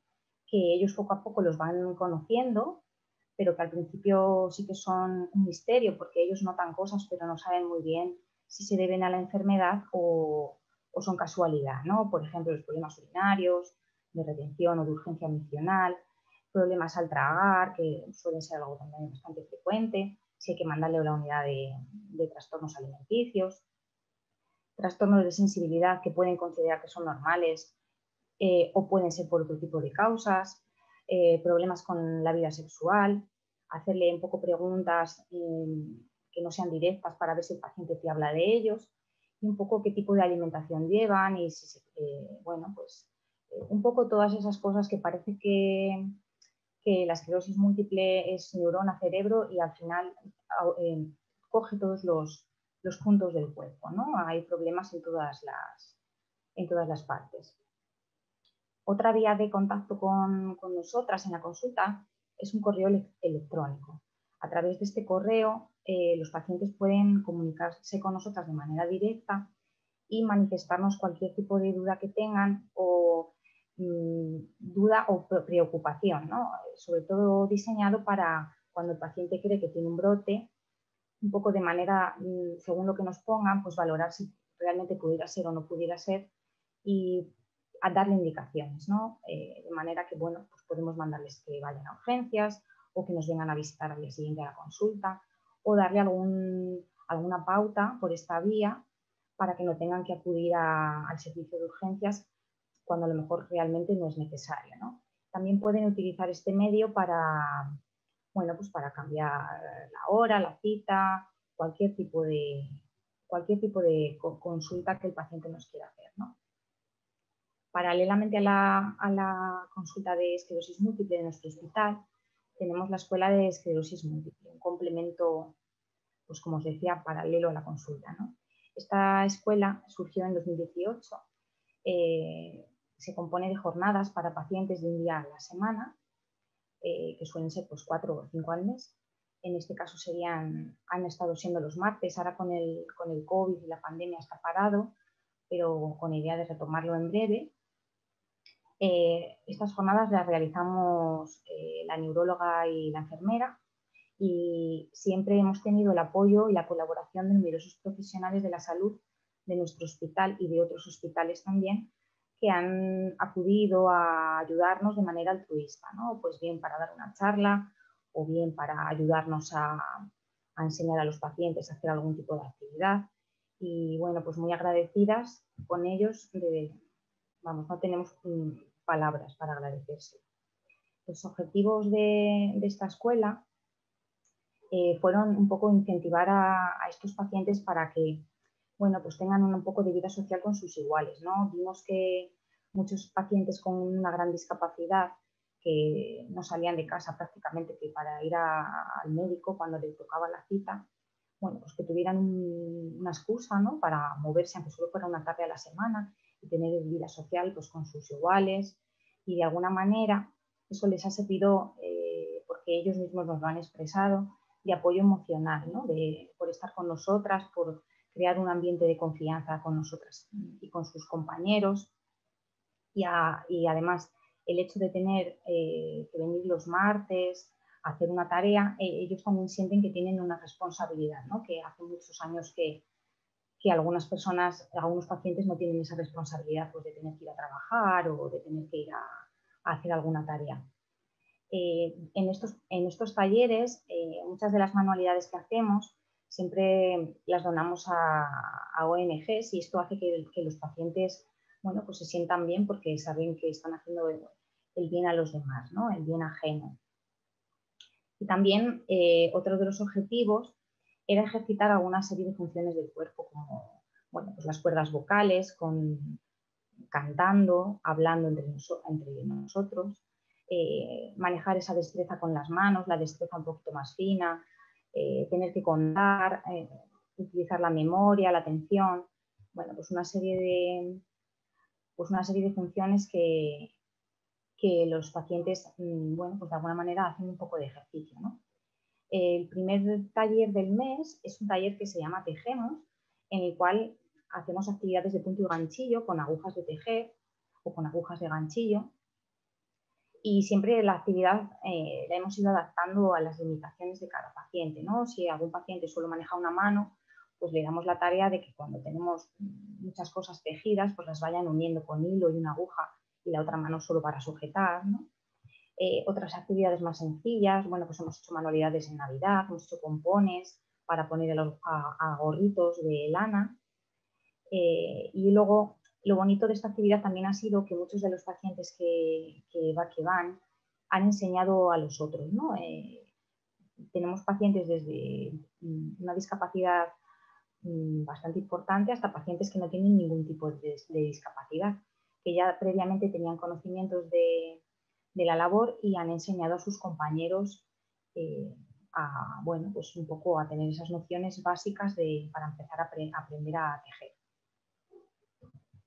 El segundo taller del mes es un taller que es un coro con los pacientes, que realmente estos pacientes, bueno, pues a lo mejor nunca, nunca han cantado, ¿no? No tienen conocimiento de música ni de solfeo. Y, bueno, pues al final era una actividad que al principio parecía que les daba vergüenza, que cantar en público, que yo no sé cantar. Y al final ha sido de las más exitosas de manera que tenemos un grupo bastante grande, pues entre 20 y 30 pacientes, eh, muy fieles todos y deseando que llegue el martes del coro para, para acudir. ¿no? Eh, bueno, pues tenemos un repertorio de canciones populares, adaptándolas de manera sencilla a los, a los pacientes, normalmente a, dos voces. Y bueno, ya hemos dado dos conciertos eh, que han sido muy reconfortantes para ellos, de manera que se han sentido, bueno, pues que han ido a ver a sus familiares y han visto que realmente pueden hacer cosas en grupo y que a lo mejor no esperaban poder hacerlo. ¿no? En este ejercicio eh, bueno, al final tienen que pensar cuando le toca, eh, esta nota es más fuerte, esta nota es más baja, tienen que leer las partituras, tienen que, bueno, estar pendientes de sus compañeros, de trabajo en equipo y, de alguna manera es un ejercicio muy bueno mental. Los terceros martes de cada mes eh, los utilizamos para dar charlas divulgativas sobre temas que los pacientes nos expresan su, Mm, su interés en la propia consulta. ¿no? Como no tenemos tiempo material en, la consulta de resolverles algunos temas o algunas dudas, pues eh, pensamos que sería un buen momento para explayar el tema correspondiente. ¿no? Pues a lo mejor quieren saber un poco más del embarazo, pero bueno, les, das las pautas en la consulta un poco eh, más por encima, pero ese día hacemos una charla del embarazo y se, bueno, pues se cuenta todo de arriba abajo, ¿no? Pues Hemos tenido muchas charlas, por ejemplo, esas que os pongo ahí, de incontinencia, de embarazo, de rehabilitación, nuevas terapias, cuidados con los inyectores en la piel, de apoyo emocional, aspectos legales, también muy preguntados en la consulta. Y bueno, eh, muchas de ellas las hemos dado nosotros, pero muchas han sido compañeros que nos han ayudado y que son expertos en los diferentes temas. Y por último, los, últimos martes de mes, eh, el taller es un taller que le hemos llamado Pintemos, en el cual rellenamos mandalas con colores, con rotuladores de punta fina. algunos pacientes le, damos pinturas gordas porque no tienen esa destreza tan fina con las manos. Y bueno, de alguna manera también hacemos otro tipo de manualidades, ¿no? Hemos hecho cosas para Navidad, eh, membretes con el nombre para identificarnos los unos con los otros y también ha sido uno de los talleres eh, más gratificantes para ellos.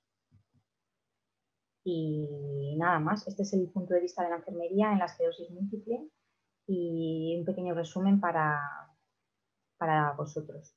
Muchas gracias.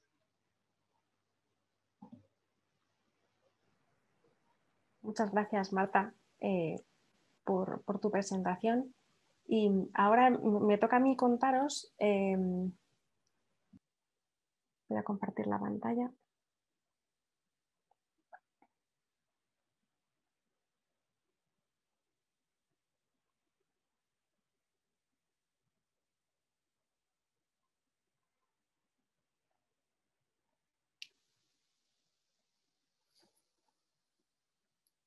¿Se está viendo bien? ¿Veis bien la presentación? Sí, perfectamente, se ve bien.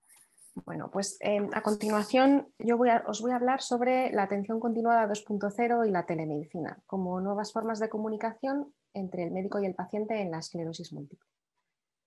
Em, lo cierto es que, pues un poco revisando, eh, buscando una frase para, para, ilustrar la charla, para iniciarla, me encontré con esta frase de un médico historiador, Pedro Lain Entralgo, que corresponde a una obra de 1964 y me pareció que estaba eh, de plena actualidad. Pocas cuestiones hay en la medicina contemporánea tan comentadas como la crisis actual de la relación entre el médico y el enfermo. ¿Es posible hoy prescindir de una relación directa entre el terapeuta y el enfermo? Parece una pregunta hecha para hoy, porque eh, bueno, pues, eh, se ha puesto muy en boga el concepto de telemedicina o teleasistencia sanitaria que definiríamos como aquella práctica médica que se realiza a distancia o de manera no presencial mediante tecnología de la comunicación moderna y que permite transmitir información verbal, escrita o de imagen con el fin de mejorar la salud de los pacientes. Y esa tecnología de la comunicación más o menos moderna pues podría ser a través del teléfono. Este teléfono podría perfectamente ser el mío de la consulta Em, a través de videollamada, eh, de mensajería electrónica o a través de aplicaciones web o, blogs o, aplicaciones de, Internet. ¿Qué ventaja tendríamos con la telemedicina o la teleasistencia? Bueno, pues fundamentalmente dos ventajas. Una mayor accesibilidad a los pacientes y una reducción en los costes. Eh, una mayor accesibilidad, evitando los traslados. Esto es importante en nuestros pacientes, sobre todo en aquellos que tienen discapacidad. Además, podríamos eh, tener un mayor alcance de la atención eh, y en una comunidad como la nuestra, con una gran dispersión geográfica, pues podría ser algo interesante.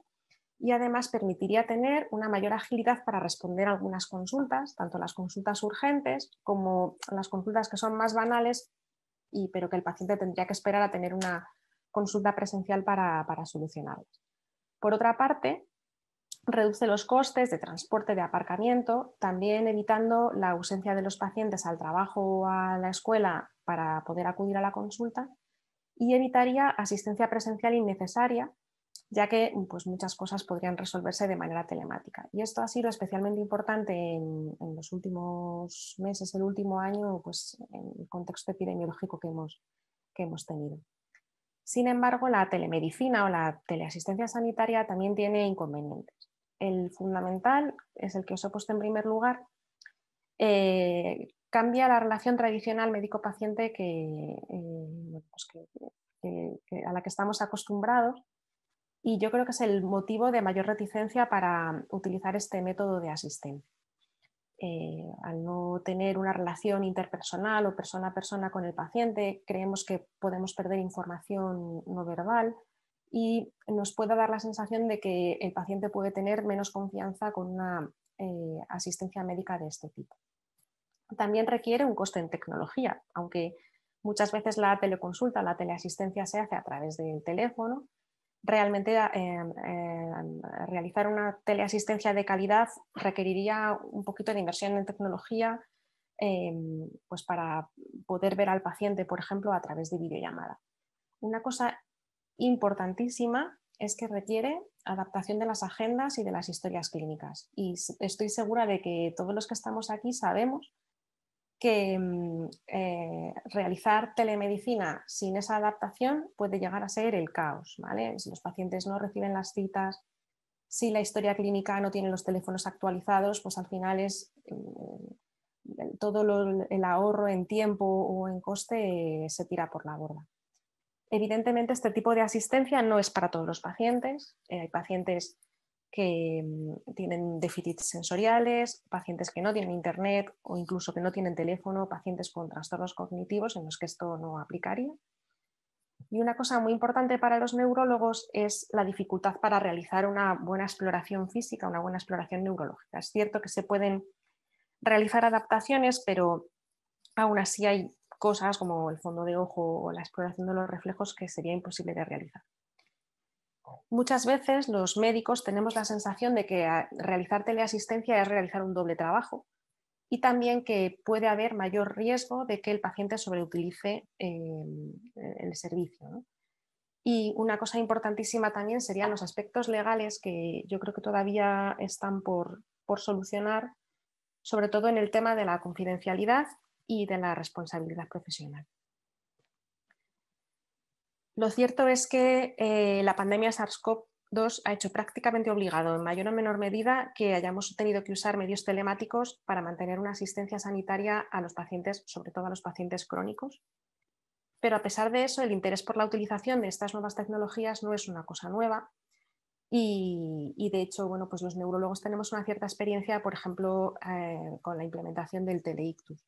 Esta es una búsqueda que, he hecho en, PubMed, donde, bueno, pues como veis, efectivamente en el año 2020 hubo un gran pico de eh, información científica sobre telemedicina, pero realmente también los años anteriores eh, pues, eh, también había un número considerable de publicaciones.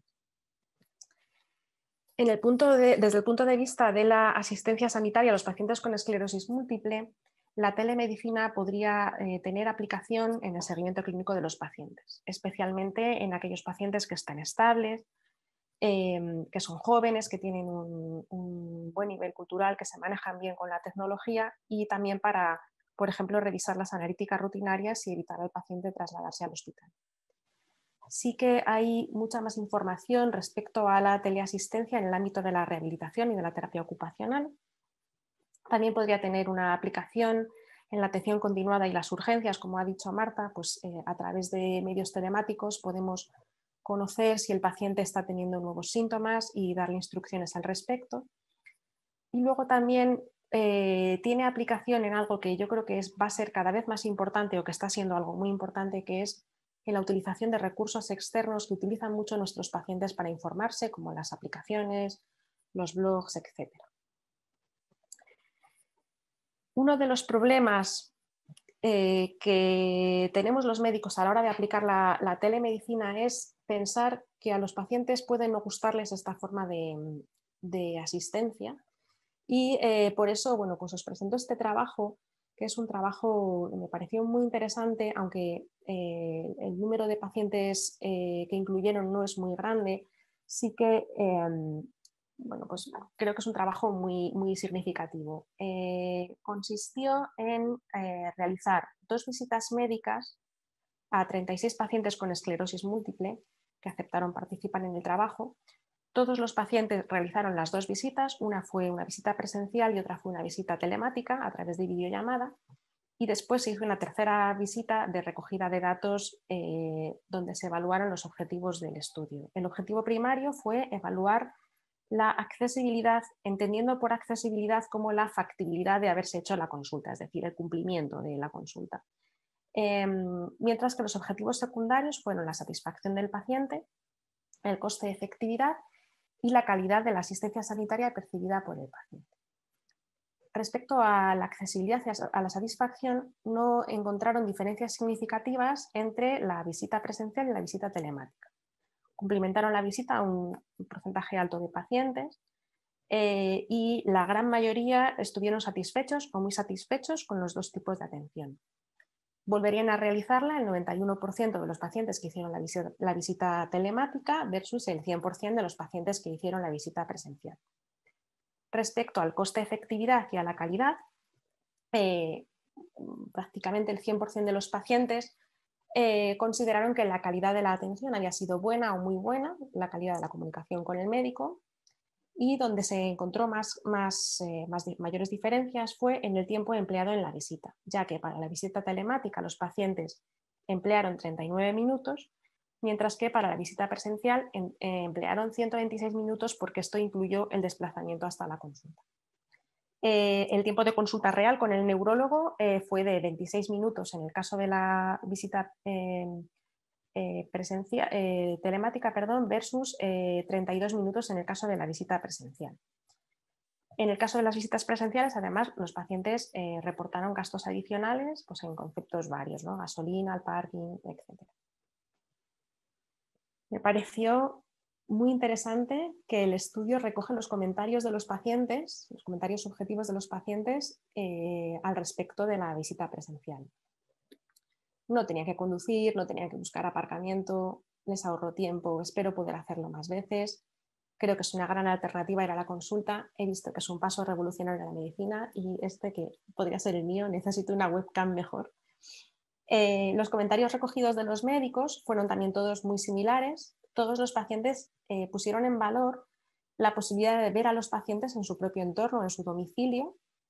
Eh, les pareció que la adaptación de la exploración neurológica era aceptable, pero eh, sí que también hicieron hincapié en que era necesario mejorar la tecnología. Respecto a la exploración neurológica en los pacientes con esclerosis múltiple, pues también quiero compartir este, este, este artículo sobre eh, la utilidad de herramientas de evaluación reportadas por el propio paciente, lo que conocemos como PROMS, para completar la evaluación a través de teleasistencia.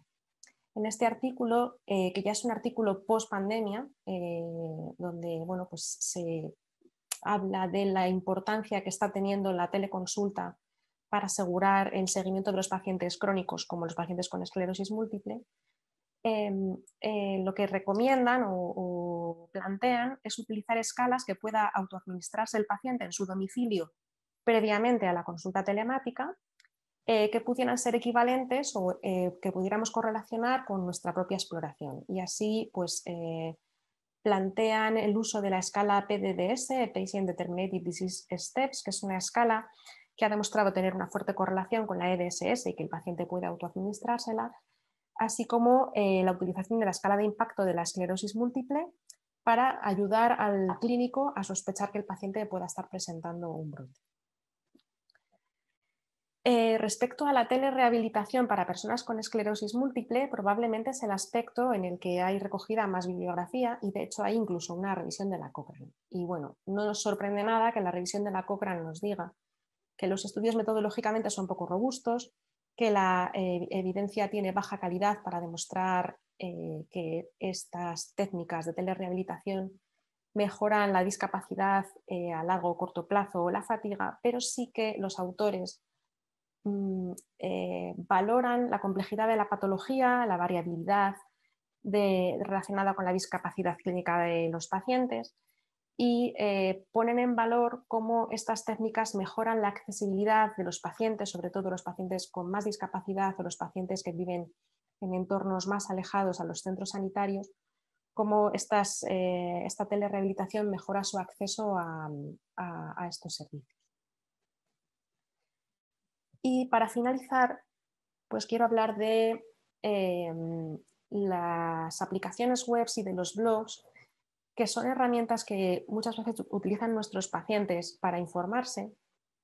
Y eh, bueno, pues os presento este trabajo donde se evaluaron los posts publicados en una comunidad web que estaba dedicada íntegramente a la esclerosis múltiple para intentar detectar si se comparte con mucha frecuencia información falsa y si esto puede estar eh, influenciado por la participación o no de mm, neurólogos u otros profesionales sanitarios en, la web.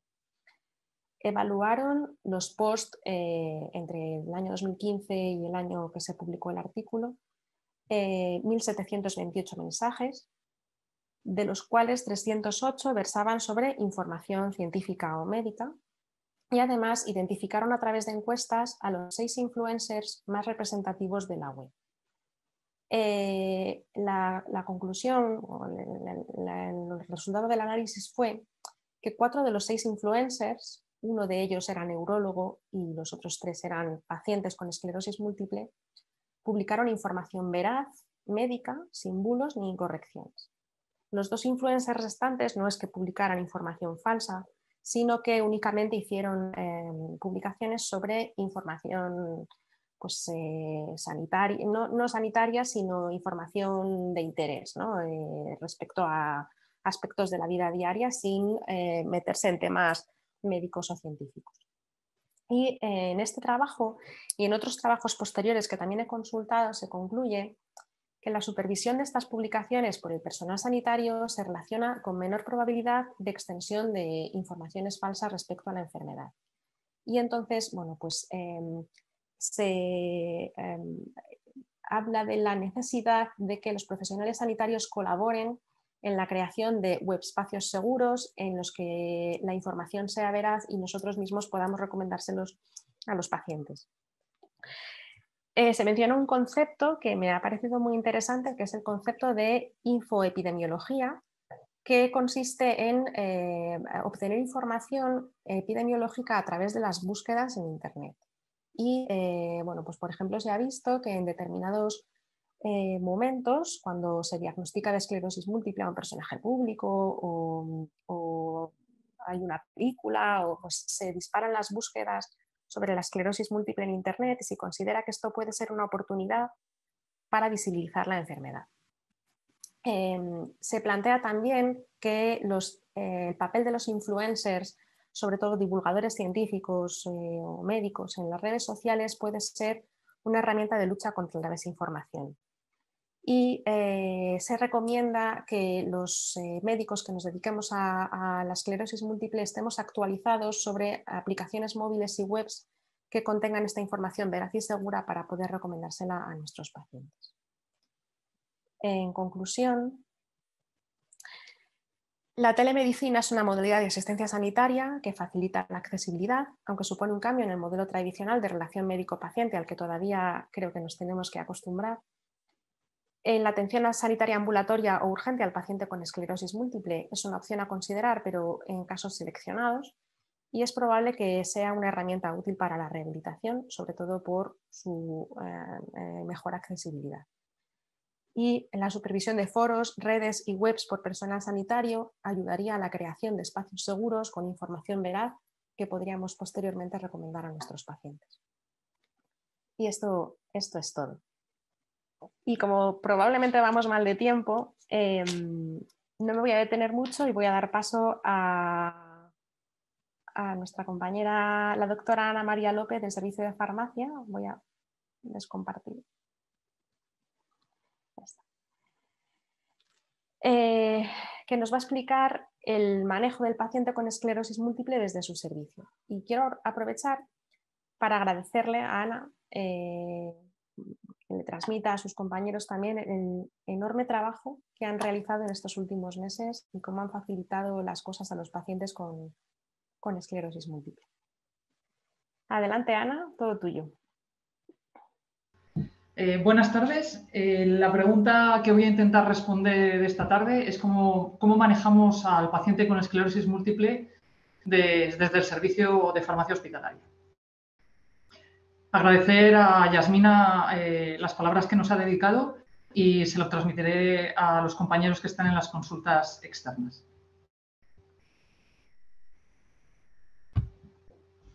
Para romper el hielo, eh, voy a empezar con las responsabilidades del farmacéutico de hospital. Entre las tareas que hacemos son seleccionar medicamentos, protocolizarlos y posicionarlos, validar los tratamientos que habéis prescrito los neurólogos, informar, aconsejar y motivar a los pacientes a los que atendemos. Atender a los pacientes siempre atiende un farmacéutico a un paciente que inicia un tratamiento, cuando cambia de tratamiento o siempre que hay problemas relacionados con la medicación. Fomentamos también la adherencia al tratamiento Intentamos establecer un circuito que favorezca la comunicación con otros profesionales sanitarios, con los neurólogos y con las enfermeras. Y es también nuestra responsabilidad conocer la, satisfacción que tienen eh, los pacientes con los servicios que les prestamos. Estamos pasando de un modelo, en los servicios de farmacia, estamos pasando de un modelo clásico centrado en el medicamento, con las clásicas etapas de selección, eh, prescripción médica, validación farmacéutica, dispensación y seguimiento de los pacientes. Estamos pasando a un modelo más complejo donde queremos eh, cambiar eh, a que se centre nuestro, nuestro trabajo en, el paciente, no en el medicamento. Es un proceso que es mucho más complejo, pero queremos que valorar integralmente a los pacientes con planes individualizados de cuidados y con seguimiento farmacoterapéutico. Pero eh, la pandemia ha cambiado radicalmente las reglas del juego. En el año 2020 se publica el posicionamiento de la Sociedad Española de Farmacia Hospitalaria sobre telefarmacia, donde hay un documento eh, de consenso que recoge las recomendaciones para su implantación y para su desarrollo. En el hospital tenemos dos modalidades de atención farmacéutica al paciente con esclerosis múltiple. La presencial, destinada fundamentalmente a los pacientes que acuden a la consulta médica al hospital, de tal manera que el mismo día de la consulta acuden a la farmacia para ser atendidos por un farmacéutico y recoger allí su medicación. Y también utilizamos esta fórmula para pacientes que prefieren este tipo de asistencia. La telefarmacia y la atención a domicilio, un farmacéutico contacta con el paciente tras la consulta médica telefónica para resolver las dudas que le hayan podido surgir con la medicación, en cuanto a la adherencia, las interacciones o los efectos adversos y comprobar que no tiene problemas con ella, concretar las condiciones de envío al cabo de dos o cinco, a cinco días. Este es el tríptico que entregamos a los pacientes para que comprendan los dos sistemas que tenemos, la fórmula presencial eh, tradicional y eh, la, fórmula presencial y la fórmula de telefarmacia. Entonces, el, el tríptico contiene recordatorios para el paciente y también algunas preguntas frecuentes que nos hacen los pacientes que las hemos dejado ahí recogidas y contestadas. En el servicio de farmacia jugamos eh, la fase previa, que es una labor silente que hace el farmacéutico de hospital. Para mí es mucho más que un trámite administrativo. cuando se hace una solicitud de un nuevo medicamento para un paciente o se cambia el tratamiento, registramos en farmacia los datos de esa solicitud. Validamos el tratamiento con la dosis y su pauta de administración, revisamos las variables clínicas de eficacia, como son los, el EDSS, el número de brotes, las sesiones de la resonancia magnética o si tiene o no actividad. Verificamos la contraindicación y las posibles alergias, revisamos que el tratamiento se ajuste al protocolo del hospital y registramos nuestro, al paciente en el sistema informático del servicio de farmacia. Y después asignamos una cita al paciente en las consultas externas de farmacia. En la visita de inicio de tratamiento revisamos la analítica, la medicación, la historia previa del paciente citado. Registramos en Jimena 4 el episodio y el motivo por el que se hace la consulta. Entrevistamos al paciente y le entregamos información escrita y también información eh, oral. Y programamos las siguientes citas. La visita de seguimiento de los pacientes de esclerosis múltiple eh, lo considero como otra oportunidad, porque es una forma de revisar y reevaluar el tratamiento. Revisamos la respuesta al tratamiento la seguridad eh, y la seguridad mediante una entrevista con el paciente. Reevaluamos de forma periódica la técnica de administración. Revisamos los tratamientos que tiene prescritos el paciente de forma crónica y las posibles contraindicaciones. Revisamos también pruebas complementarias, la analítica, el hemograma, la función hepática, la función renal. También la adherencia al tratamiento. Pues eh, al tratarse de un proceso dinámico eh, puede variar con el tiempo, por lo que la medida debe ser periódica. Derivamos al neurólogo si detectamos incidencias y registramos eh, los datos en la historia clínica electrónica. Y para finalizar, ¿hacia dónde vamos? pues vamos hacia una atención farmacéutica centrada en el paciente y no centrada en el medicamento.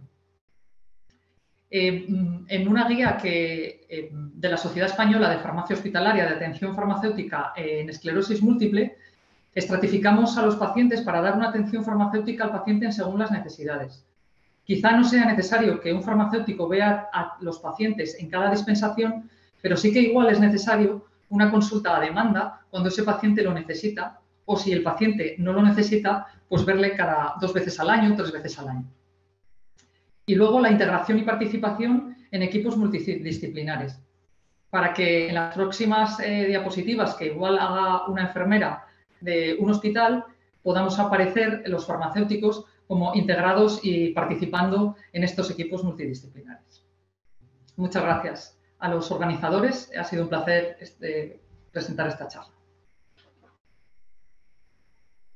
Muchas gracias a ti, Ana, por ponernos al día Después ya te haré alguna pregunta. Eh, y ya para finalizar el turno de presentaciones contamos con la presencia de Leticia Pedraz, eh, que es la directora de ASDEM, la Asociación Salmantina de Esclerosis Múltiple, que nos va a hablar de mm, ese difícil momento para los pacientes, que es el momento del diagnóstico. Eh, muchas gracias, Leticia, por haber aceptado la invitación y todo tuyo. Gracias, Yasmina. ¿Me oís bien? Perfectamente. Perfecto. Voy a compartir la pantalla. Mientras tanto, agradezco la oportunidad que nos habéis dado de participar en, la jornada. Es para nosotros un placer y después de haber oído todas las ponencias, eh, casi ha salido redondo porque me habéis hecho un poco spoiler de casi todo lo que voy a hablar. Es como un poco el broche, ¿no? Y vengo eh, como bien dices, por parte de, ASDEN, a poner un poco el, contrapunto sociosanitario eh, a toda esta visión más, técnica y más sanitaria que, habéis expuesto previamente. Em, matizar, por supuesto, que, que hablo reitero humildemente en nombre de ASDEN, de todas las personas a las que representamos y sus familias, de todo el equipo multidisciplinar que trabaja en esta entidad eh, cada día al lado de los pacientes. Y no soy psicóloga, entonces no me gustaría tampoco abordar el punto de vista o el, momento del afrontamiento, tal y como está mm, un poco planificado dentro de la jornada eh, desde ese punto de vista técnico, sino más bien desde nuestra visión como, como entidad. Por eso, mm, empiezo un poco contándoos eh, cuál es eh, la, como entidad, que, es ASDEM. ¿no? ASDEM sabéis que es una entidad de personas afectadas por esclerosis múltiple y sus familias. Es una entidad pionera en, Castilla y León y prácticamente en España. Nació en el año 95 y en su momento eh, su objetivo principal era la defensa y difusión de los derechos y las necesidades de todas las personas.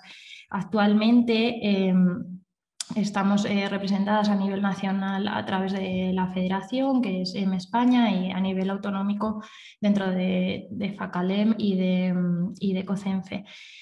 Eh, dentro de nuestros últimos años, ASDEN ha hecho un, esfuerzo importante por trabajar con criterios de calidad y eh, en el momento actual nos encontramos en fase de definir estratégicamente cuál va a ser nuestro propósito para los próximos tres años. Eh, un borrador o un anticipo de ese propósito es esta frase que veis aquí de contribuir eh, a la construcción de comunidades diversas que funcionen para todas las personas, impulsando oportunidades que favorezcan la universalización de los apoyos y el desarrollo de los proyectos de vida elegidos de cada persona a la que apoyamos. Es una frase larga que tiene tres puntos claves que he señalado y que me, ha gustado mucho compartir con vosotros. Em, actualmente en cuenta con un total de 136 socios y 35 amigos, son en total 171 personas, es un índice de asociabilidad alto para lo que estamos acostumbrados a ver en el resto de, asociaciones, pero mm, sois eh, especialistas y trabajáis con pacientes, sabéis que es un número eh, poco representativo del colectivo total diagnosticado eh, provincialmente en Salamanca. Em, esta es una estratificación un poco representativa de lo que son nuestros socios. En total, el 66% son mujeres, eh, la media de edad está en torno a los 54 años y solamente un 27% son usuarios eh, habituales de nuestros servicios de promoción de autonomías eh, personal, servicio de psicología, terapia ocupacional, apoyo a familias y demás. hablaremos más adelante de la tendencia del asociacionismo, que me parecía una oportunidad buena como para hacer un análisis detallado también. Y ahora ya sí que entramos un poco en harina y si veis un poco la representatividad de la presentación, la idea es un poco poner el foco en ese momento, como ha dicho Yasmina, de, la llegada, de la llegada del paciente. Eh, Esa sería un poco nuestra puerta y, y, bueno, está un poco abierta a la nada porque no sabemos, ni nosotros sabemos lo que vamos a encontrar, ni ellos saben muy bien lo que van a encontrar. Lo que sí que creo es que como hilo conductor hay cuatro pilares fundamentales que guían eh, cuál es eh, la relación posterior del paciente y cómo ASDEM como entidad puede influir positiva o negativamente en la vivencia y el afrontamiento de, su enfermedad.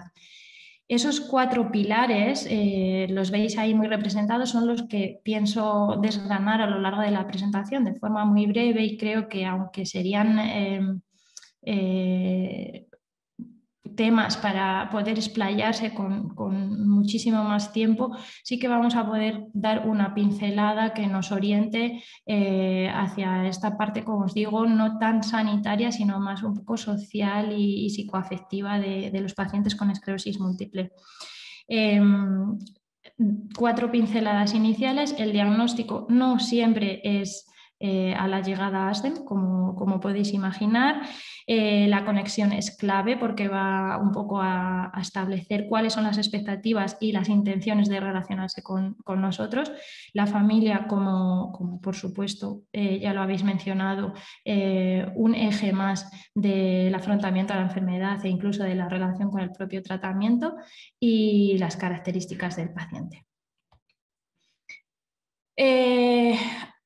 Hilando un poco con la parte de, que has puesto Yasmina de, asistencia 2.0, telemedicina, telerehabilitación, em, he extraído del libro blanco de esclerosis múltiple en España de este año, del 2020, eh, esta estadística en la que podéis ver em, cuáles son las, fuentes de información que consultan los pacientes para manejar la enfermedad. Replica un poco lo que Yasmina expuso anteriormente. Hay datos eh, muy esperanzadores o muy positivos y datos que para nosotros como entidad merecen una reflexión, no, no es que sean malos datos pero sí que merecen una reflexión y son eh, los datos que yo he querido reflejar en la siguiente diapositiva. Em, hay datos que, como os digo, son muy alentadores, que el mayor porcentaje de pacientes utilicen a los servicios de salud profesionales como fuente de información es, por supuestísimo, un dato muy positivo porque es una fuente fiable y segura y, es muy representativo de estos avances eh, que también se han nombrado anteriormente en cuanto a la comunicación médico-paciente. Eh, técnicas de escucha, entendimiento, potenciación de la adherencia al tratamiento. Hemos visto unos, en los últimos años muchos avances eh, en este sentido. En la parte que merece reflexión está, eh, bueno, por supuesto, eh, veis un amplio porcentaje de pacientes que ni siquiera buscan información en ninguna fuente, no buscan información, en torno a un 43,2%. Em, como habéis mencionado anteriormente, hay eh, en torno a un 80%, sería la segunda fuente de información en la que, a la que acuden los pacientes eh, los canales digitales y páginas web, pero es que las entidades o las asociaciones de pacientes eh, ocupan un rango muy por detrás, incluso por detrás de artículos de revistas y folletos. ¿Vale? Esta es la reflexión que, que, yo quería hacer. Las entidades de pacientes al final tienen un papel clave en el afrontamiento de la enfermedad, en la prestación de muchos servicios a los que las personas no pueden llegar eh, con medios privados, eh, como son grupos de autoayuda, contacto con otros pacientes. Eh, la escuela de, esclerosis múltiple es un ejemplo clarísimo como complemento a la intervención puramente sanitaria. Y, la derivación del paciente o la conexión del paciente con las entidades indudablemente ha de reforzarse. Mm, yo extraería de esto algunas conclusiones. Es importante seguir potenciando los canales de comunicación eh, con los profesionales sanitarios, especialmente con neurología y atención primaria. Em, hay estudios eh, que muestran que un amplio porcentaje eh, de pacientes eh, son desconocedores de temas muy claves como son la sexualidad, en torno a un 46,1%, la maternidad a un 45% o los tratamientos y las nuevas opciones de tratamiento en torno a un 31%. Sensibilizar sobre todo a la comunidad sanitaria y diseñar estrategias y herramientas que están dirigidas a la participación del paciente en su enfermedad tienen que ser estrategias comunes, eh, incluso políticas comunes en el corto plazo. Y por otra parte, eh, en la parte de la reflexión, mm, es indudable que el asociacionismo eh, está un poco de capa caída en los últimos años, no solo en la esclerosis, sino eh, un poco en términos generales. hay un 70% de los afectados que no pertenecen, según estudios, a ninguna fundación o asociación relacionada con la esclerosis múltiple y, creemos que esto es fundamental, eh, no solo porque tenemos que formar parte de esos equipos de apoyo multidisciplinares que empoderen al paciente, sino porque tenemos que hacer a los pacientes también líderes eh, en un papel de sensibilización, de concienciación y de reivindicación social. ¿vale? Más allá de eso, así todo lo que recibimos en ASDEM, eh, al final, como veis ahí, son caras, ¿no? Son personas, individuos, fotos de personas que llegan a ASDEN con su propia vivencia y, lo que tratamos eh, sobre todo es de construir eh, su propia historia de la enfermedad y apoyarles en el momento en el que, en el ellos lo demanden, teniendo en cuenta, como veis ahí, eh, cuál es su esfera más privada o más individual, edad, género, actitudes. Todos estos son factores que han sido analizados y contribuyen positiva o negativamente de forma significativa en la calidad de vida de los pacientes con esclerosis múltiple, que creo que es un, término a incluir dentro de toda esta evaluación y medición y categorización de los pacientes con esclerosis múltiple, más allá de su estadio, de su discapacidad o de sus dificultades en la vida diaria, cuál es su calidad de vida. Em, la conexión era el segundo punto. Hablábamos un poco de cuáles eran las expectativas que, tenía el paciente que llegaba o el socio que llegaba a ASDEM. Ahí veis que de forma central en principio nuestro papel como entidad es un poco el de hacer la conexión, somos el filtro o intentamos ser el filtro entre personas con otras personas, pacientes con recursos públicos o privados, pacientes con servicios, que podemos ser nosotros los prestadores u otras entidades, eh, y entre los pacientes y la propia información. Eh, ¿vale? Más allá también de, todo esto, de toda esta conexión y de esta red de apoyos que intentamos tejer cuando la persona llega y está intentando conformar ese momento de, aceptación y de convivir con su, nueva, realidad, lo que hemos detectado es que para, para, un buen afrontamiento de la enfermedad, para una buena convivencia con la patología, para aprender un poco eh, a sobrellevar esta nueva realidad de la que os hablo y esta nueva historia de vida que ha dado un giro de 180 grados, em, lo que hemos aprendido en ASDEN es que más allá de hacer conexiones con muchos o tejer muchas redes, lo principal y lo prioritario de forma em, súper urgente es que el paciente o el socio conecte consigo mismo. Eh, hay pacientes que llegan muy desconectados. Eh, el paciente tiene que conectar con su nuevo yo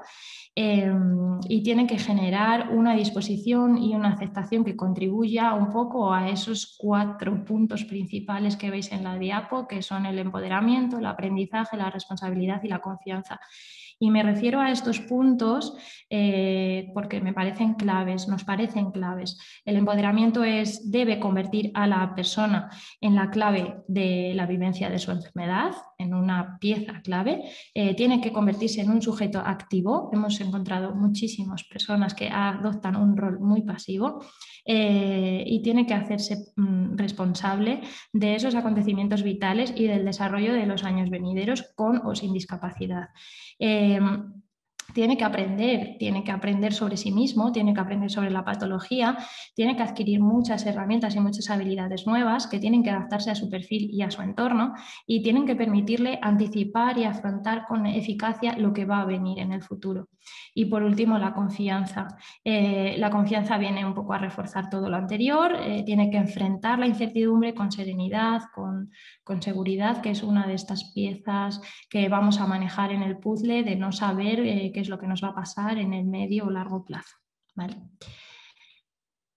El paciente, como veis aquí, tratamos un poco como tercer eje dentro de esa llegada a ASCEM de simbolizarlo con, la imagen de un puzzle.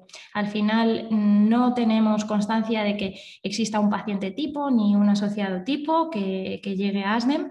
Son personas que llegan siendo reflejo de su propia historia, también de la historia de su familia y han recibido el diagnóstico de, múltiples formas eh, y en base a ello han diseñado una estrategia propia de afrontamiento de la enfermedad, que muchas veces lo han hecho con apoyo, pero en otras ocasiones lo han hecho sin apoyo, y, ellos mismos deciden cuál es el protagonismo que nos ceden a ASDEN como entidad dentro de esa, de esa historia propia. Eh, muchas personas llegan a ASDEN después de, su diagnóstico, ¿vale? pero otras muchas no. Eh, la negación o la ilusión de la realidad también contribuye un poco a, serenar eh, los efectos de este primer impacto.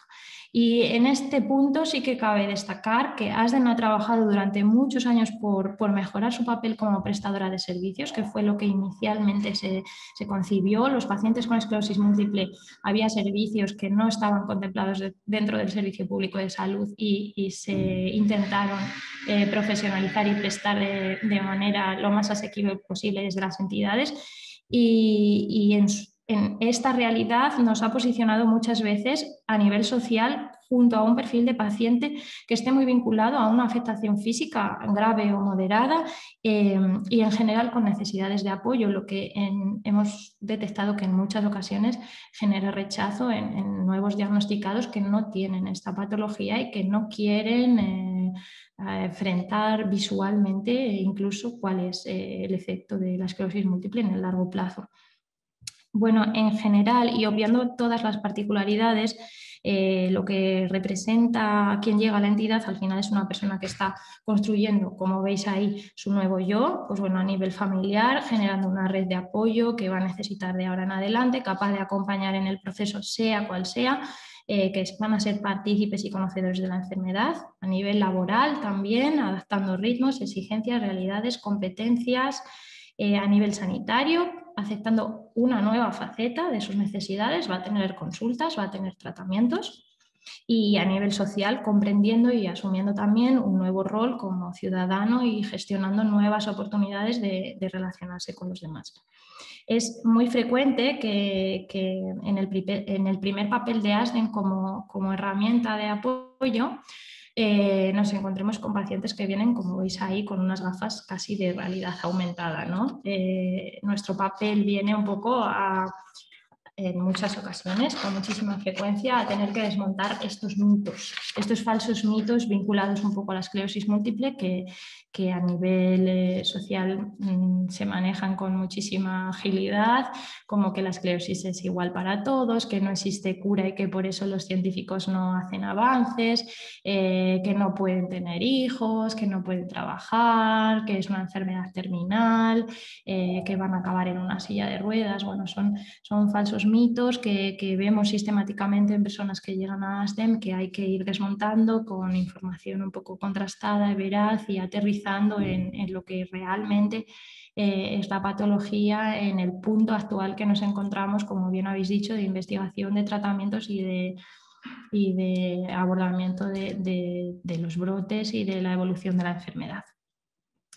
Consideramos en ASDEN además que es nuestra responsabilidad, no solo a nivel individual con los pacientes, sino también a nivel social, desarmar todas estas falsas creencias y generar un conocimiento comunitario y social sobre la realidad eh, de la esclerosis múltiple, su variabilidad en cuanto a la evolución y la sintomatología, los tratamientos, los avances científicos y la importancia de la investigación.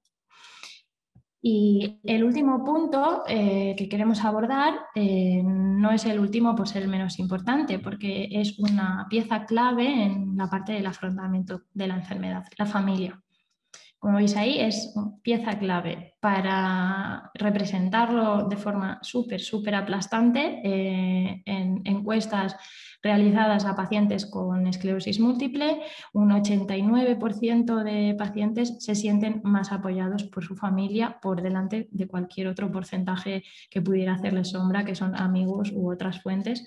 Eh, es indudable que es una pieza clave en un abordaje eficaz de la enfermedad, eh, como bien ha dicho mi compañera anteriormente. Hay familias eh, que se enfrentan, al contrario que en otras enfermedades, a un diagnóstico de cronicidad eh, que generalmente se produce en una etapa mm, adulta, en la que la esperanza de vida generalmente no está significativamente acortada y que por tanto van a enfrentarse a un curso muy prolongado, impredecible, que genera mm, incertidumbre, ansiedad y mucho miedo. Eh, las necesidades de apoyo que presentan o que eh, detectamos en las familias, em, me parecía muy interesante hacer esta reflexión, son exactamente las mismas, como veis, que, los propios diagnosticados o las propias personas con esclerosis múltiple. Deben incorporarse a las estrategias de información y formación eh, con roles activos, implicados, porque son necesarios y tienen un papel muy destacado en la convivencia con la enfermedad. Entonces, em, tenemos que tener en cuenta que va a tratarse en muchas ocasiones de un proceso en el que vamos a, modificar los roles, incluso a duplicarlos o a combinarlos, a combinar varios roles. No voy a dejar de ser hija, pero además también voy a ser cuidadora, no voy a dejar de ser eh, marido o mujer, pero también voy a ser cuidador. Em, y implica el riesgo de generar conflictos eh, derivados de sobrecarga mental y física que todos conocemos casi la mitad de la población con esclerosis múltiple, un 46,7%, considera que su familia no obtiene en absoluto en absoluto apoyo institucional. Son cifras que, tenemos que tener en cuenta y sobre las que hay que, hacer una reflexión. La configuración exitosa de la nueva etapa debe completar, eh, contemplar perdón, necesariamente estas necesidades específicas que hemos expuesto anteriormente los pacientes con esclerosis múltiple. Hay que empoderar a las familias, haciéndolas también partícipes del proceso. No pueden ser meros espectadores, eh, porque además van a jugar un papel eh, fundamental, tienen que aprender, igual que las personas van a aprender sobre su patología, sobre sus tratamientos, sobre sus inyectables, las familias deben aprender también todos los datos posibles de la enfermedad, tienen que ser capaces de, empezar a manejar herramientas que les permitan también prever y tomar decisiones con cierta agilidad, porque muchas veces nos quedamos sin tiempo, tienen que responsabilizarse de los roles que, van a ir asumiendo, hay que también clarificarlo en, términos de, bueno, un poco de, casi de contrato, ¿no? De qué es lo que vamos a hacer a partir de ahora y cómo lo vamos a ir afrontando. Cuanto más clarifiquemos al inicio y menos dejemos a la incertidumbre y a, y a la toma de decisiones un poco rápida, eh, más, eh, más seguridad y, más eficaz va a ser el afrontamiento de la enfermedad. Y por último, tenemos que generar eh, confianza eh, para que las familias se consoliden, se reconsoliden como familia y puedan afrontar todos los cambios que, que les vienen con confianza, con serenidad y con entereza. Y corriendo mucho, eh, termino la presentación, eh, le cedo el paso a Yasmina, vuelvo de nuevo a agradecer eh, la participación al ISAL, al Ministerio, al SACIL, al AUSAL, al CSIC, al Ayuntamiento, a la Junta y por supuesto a Yasmina que ha contado con nosotros para hacer esta exposición breve, pero espero que interesante sobre el punto de vista de las entidades de, de esclerosis múltiple. Muchas gracias a ti, Leticia. La verdad es que ha sido muy interesante tu presentación y si, te parece, abro el turno de preguntas eh, contigo. Vamos a, tenemos que hacer un turno de preguntas breve, ¿vale? Porque vamos muy mal de tiempo. Em, quería preguntarte si crees que en parte ese bajo porcentaje de, de, pacientes que se asocian puede tener que ver ahora en la actualidad con precisamente el mejor control de la enfermedad desde el inicio, el tratamiento más precoz, que los pacientes quizá hacen vidas más normales, están menos preocupados. No sé si, si eso, porque viendo un poco los datos de, epidemiológicos ¿no? de vuestros asociados, pues sí que da la sensación de que son pacientes más mayores, quizás con más discapacidad, que requieren más servicios probablemente. quizá también eso tiene que ver con que mm, a lo mejor los pacientes no entienden el enorme peso que tienen ellos para eh, cambiar las cosas, ¿no? Eh, ¿no? desde la discapacidad, sino desde, eh, desde la, no discapacidad, ellos tienen peso también para, para visibilizar la enfermedad y, hacer que cambien las cosas. No sé si, si crees que las cosas pueden ir por ahí. Sí, sí, sin duda. Además, yo creo que, que personalmente lo hemos comentado y contrastado en alguna ocasión anterior. Eh, son cifras que alarman a nivel asociativo, por supuesto, esta falta de un poco asociacionismo, sensibilidad, sensibilidad con las asociaciones está claro que existe y hay datos que, como os he dicho, lo muestran. Estamos en un 70% de personas afectadas que no se asocian. El perfil, eh, por supuesto, analizando el perfil de socios a nivel epidemiológico, representa eh, qué es lo que las personas buscan en ASDEM. Y como os hemos dicho, encontramos muchísimos pacientes que vienen mucho tiempo después del diagnóstico, cuando ya tienen establecida eh, una discapacidad o un nivel de necesidad de apoyos, donde lo que buscan en nosotros son eh, una prestación muy específica de, servicios. Em, creo que eh, esto es un poco... Mm, gracias a los avances que ha habido en los tratamientos, al mejor manejo. Eh, indudablemente nosotros estamos hiper contentos de esto, eh, pero por otra parte pienso que vamos un paso por detrás eh, en estos avances. Quiero decir, hemos avanzado muchísimo en manejar mejor la enfermedad y hemos transformado un paciente con discapacidad, con necesidad de apoyos, en un paciente con mucha más autonomía, mejor calidad de vida, menos necesidad de apoyos y hemos descuidado esa parte que, de la que yo he hablado en la presentación de empoderamiento, de hacer responsables a las personas con esclerosis múltiple de romper con esa imagen y esos falsos mitos que socialmente se vinculan inmediatamente a la palabra esclerosis múltiple. Eh, socialmente hay un, cliché o una imagen de paciente con esclerosis múltiple que no se corresponde con lo que actualmente es y eh, los pacientes o las personas afectadas creo que tienen un papel fundamental eh, en esa ruptura, en acompasar estos tiempos de imagen social y pública y asumir también su parte de, responsabilidad en, este proceso de de que podamos unificar lo que tiene Yasmina en la consulta con lo que la gente cree que es la esclerosis múltiple eh, cuando la oye de, un amigo o de un primo. ¿no? Eh, eh, creo que es un, paso que, en el que tenemos que avanzar y bueno, cada uno tenemos también nuestra responsabilidad. Pues como os hemos dicho, se utilizó en su momento mucho esa imagen de, de entidad que presta apoyos. Entonces ahora es normal que las personas al final solo acudan a nosotros cuando necesitan apoyos. Y por otra parte, eh, está claro que los pacientes con esclerosis múltiple, que son autónomos y que tienen un nivel eh, alto de calidad de vida, lo que quieren es vernos eh, cuanto menos posible. Pero bueno, verme a mí, a Yasmina, a Marta, a Ana, a Vega, a cualquiera de nosotras, lo menos posible, ¿no? Muy bien. Y para finalizar voy a hacer una pregunta a Ana, que es una pregunta que me hacen los pacientes todos los días, ¿vale? que es eh, si eh, esta modalidad de mm, recogida de medicación o de entrega de medicación a domicilio va a ser algo temporal por la pandemia o creéis que realmente hemos aprendido de ello y que mm, es posible que en determinados pacientes esto pueda implementarse en el futuro eh, pues pacientes con más discapacidad o que mm, tengan menos accesibilidad al hospital? Mm, yo creo que, la pandemia ha marcado un antes y un después en, la atención a los pacientes. Y, yo creo que pues, en, casi todos los hospitales eh, se va a quedar, eh, desde mi punto de vista, un híbrido entre, o sea, habrá atención presencial y habrá, y habrá atención por, por telefarmacia. Lo que pasa que nosotros eh, lo que hacemos es consulta telefónica. Quizás ACIL eh, tendría que tener eh, una, una, plataforma donde nos pudiésemos ver con los pacientes, porque yo creo que eso es muy importante. No solo la voz, sino ver, a ver pues el, la, el, los gestos o la, la imagen, la imagen que, tenemos de la comunicación no verbal eh, sería, sería muy importante.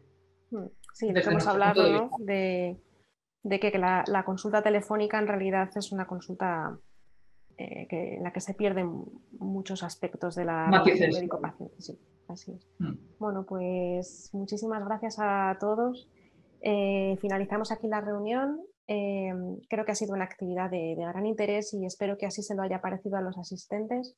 Em, gracias a todos los que, lo, habéis hecho posible y, bueno, pues feliz fin de semana y hasta, hasta la próxima.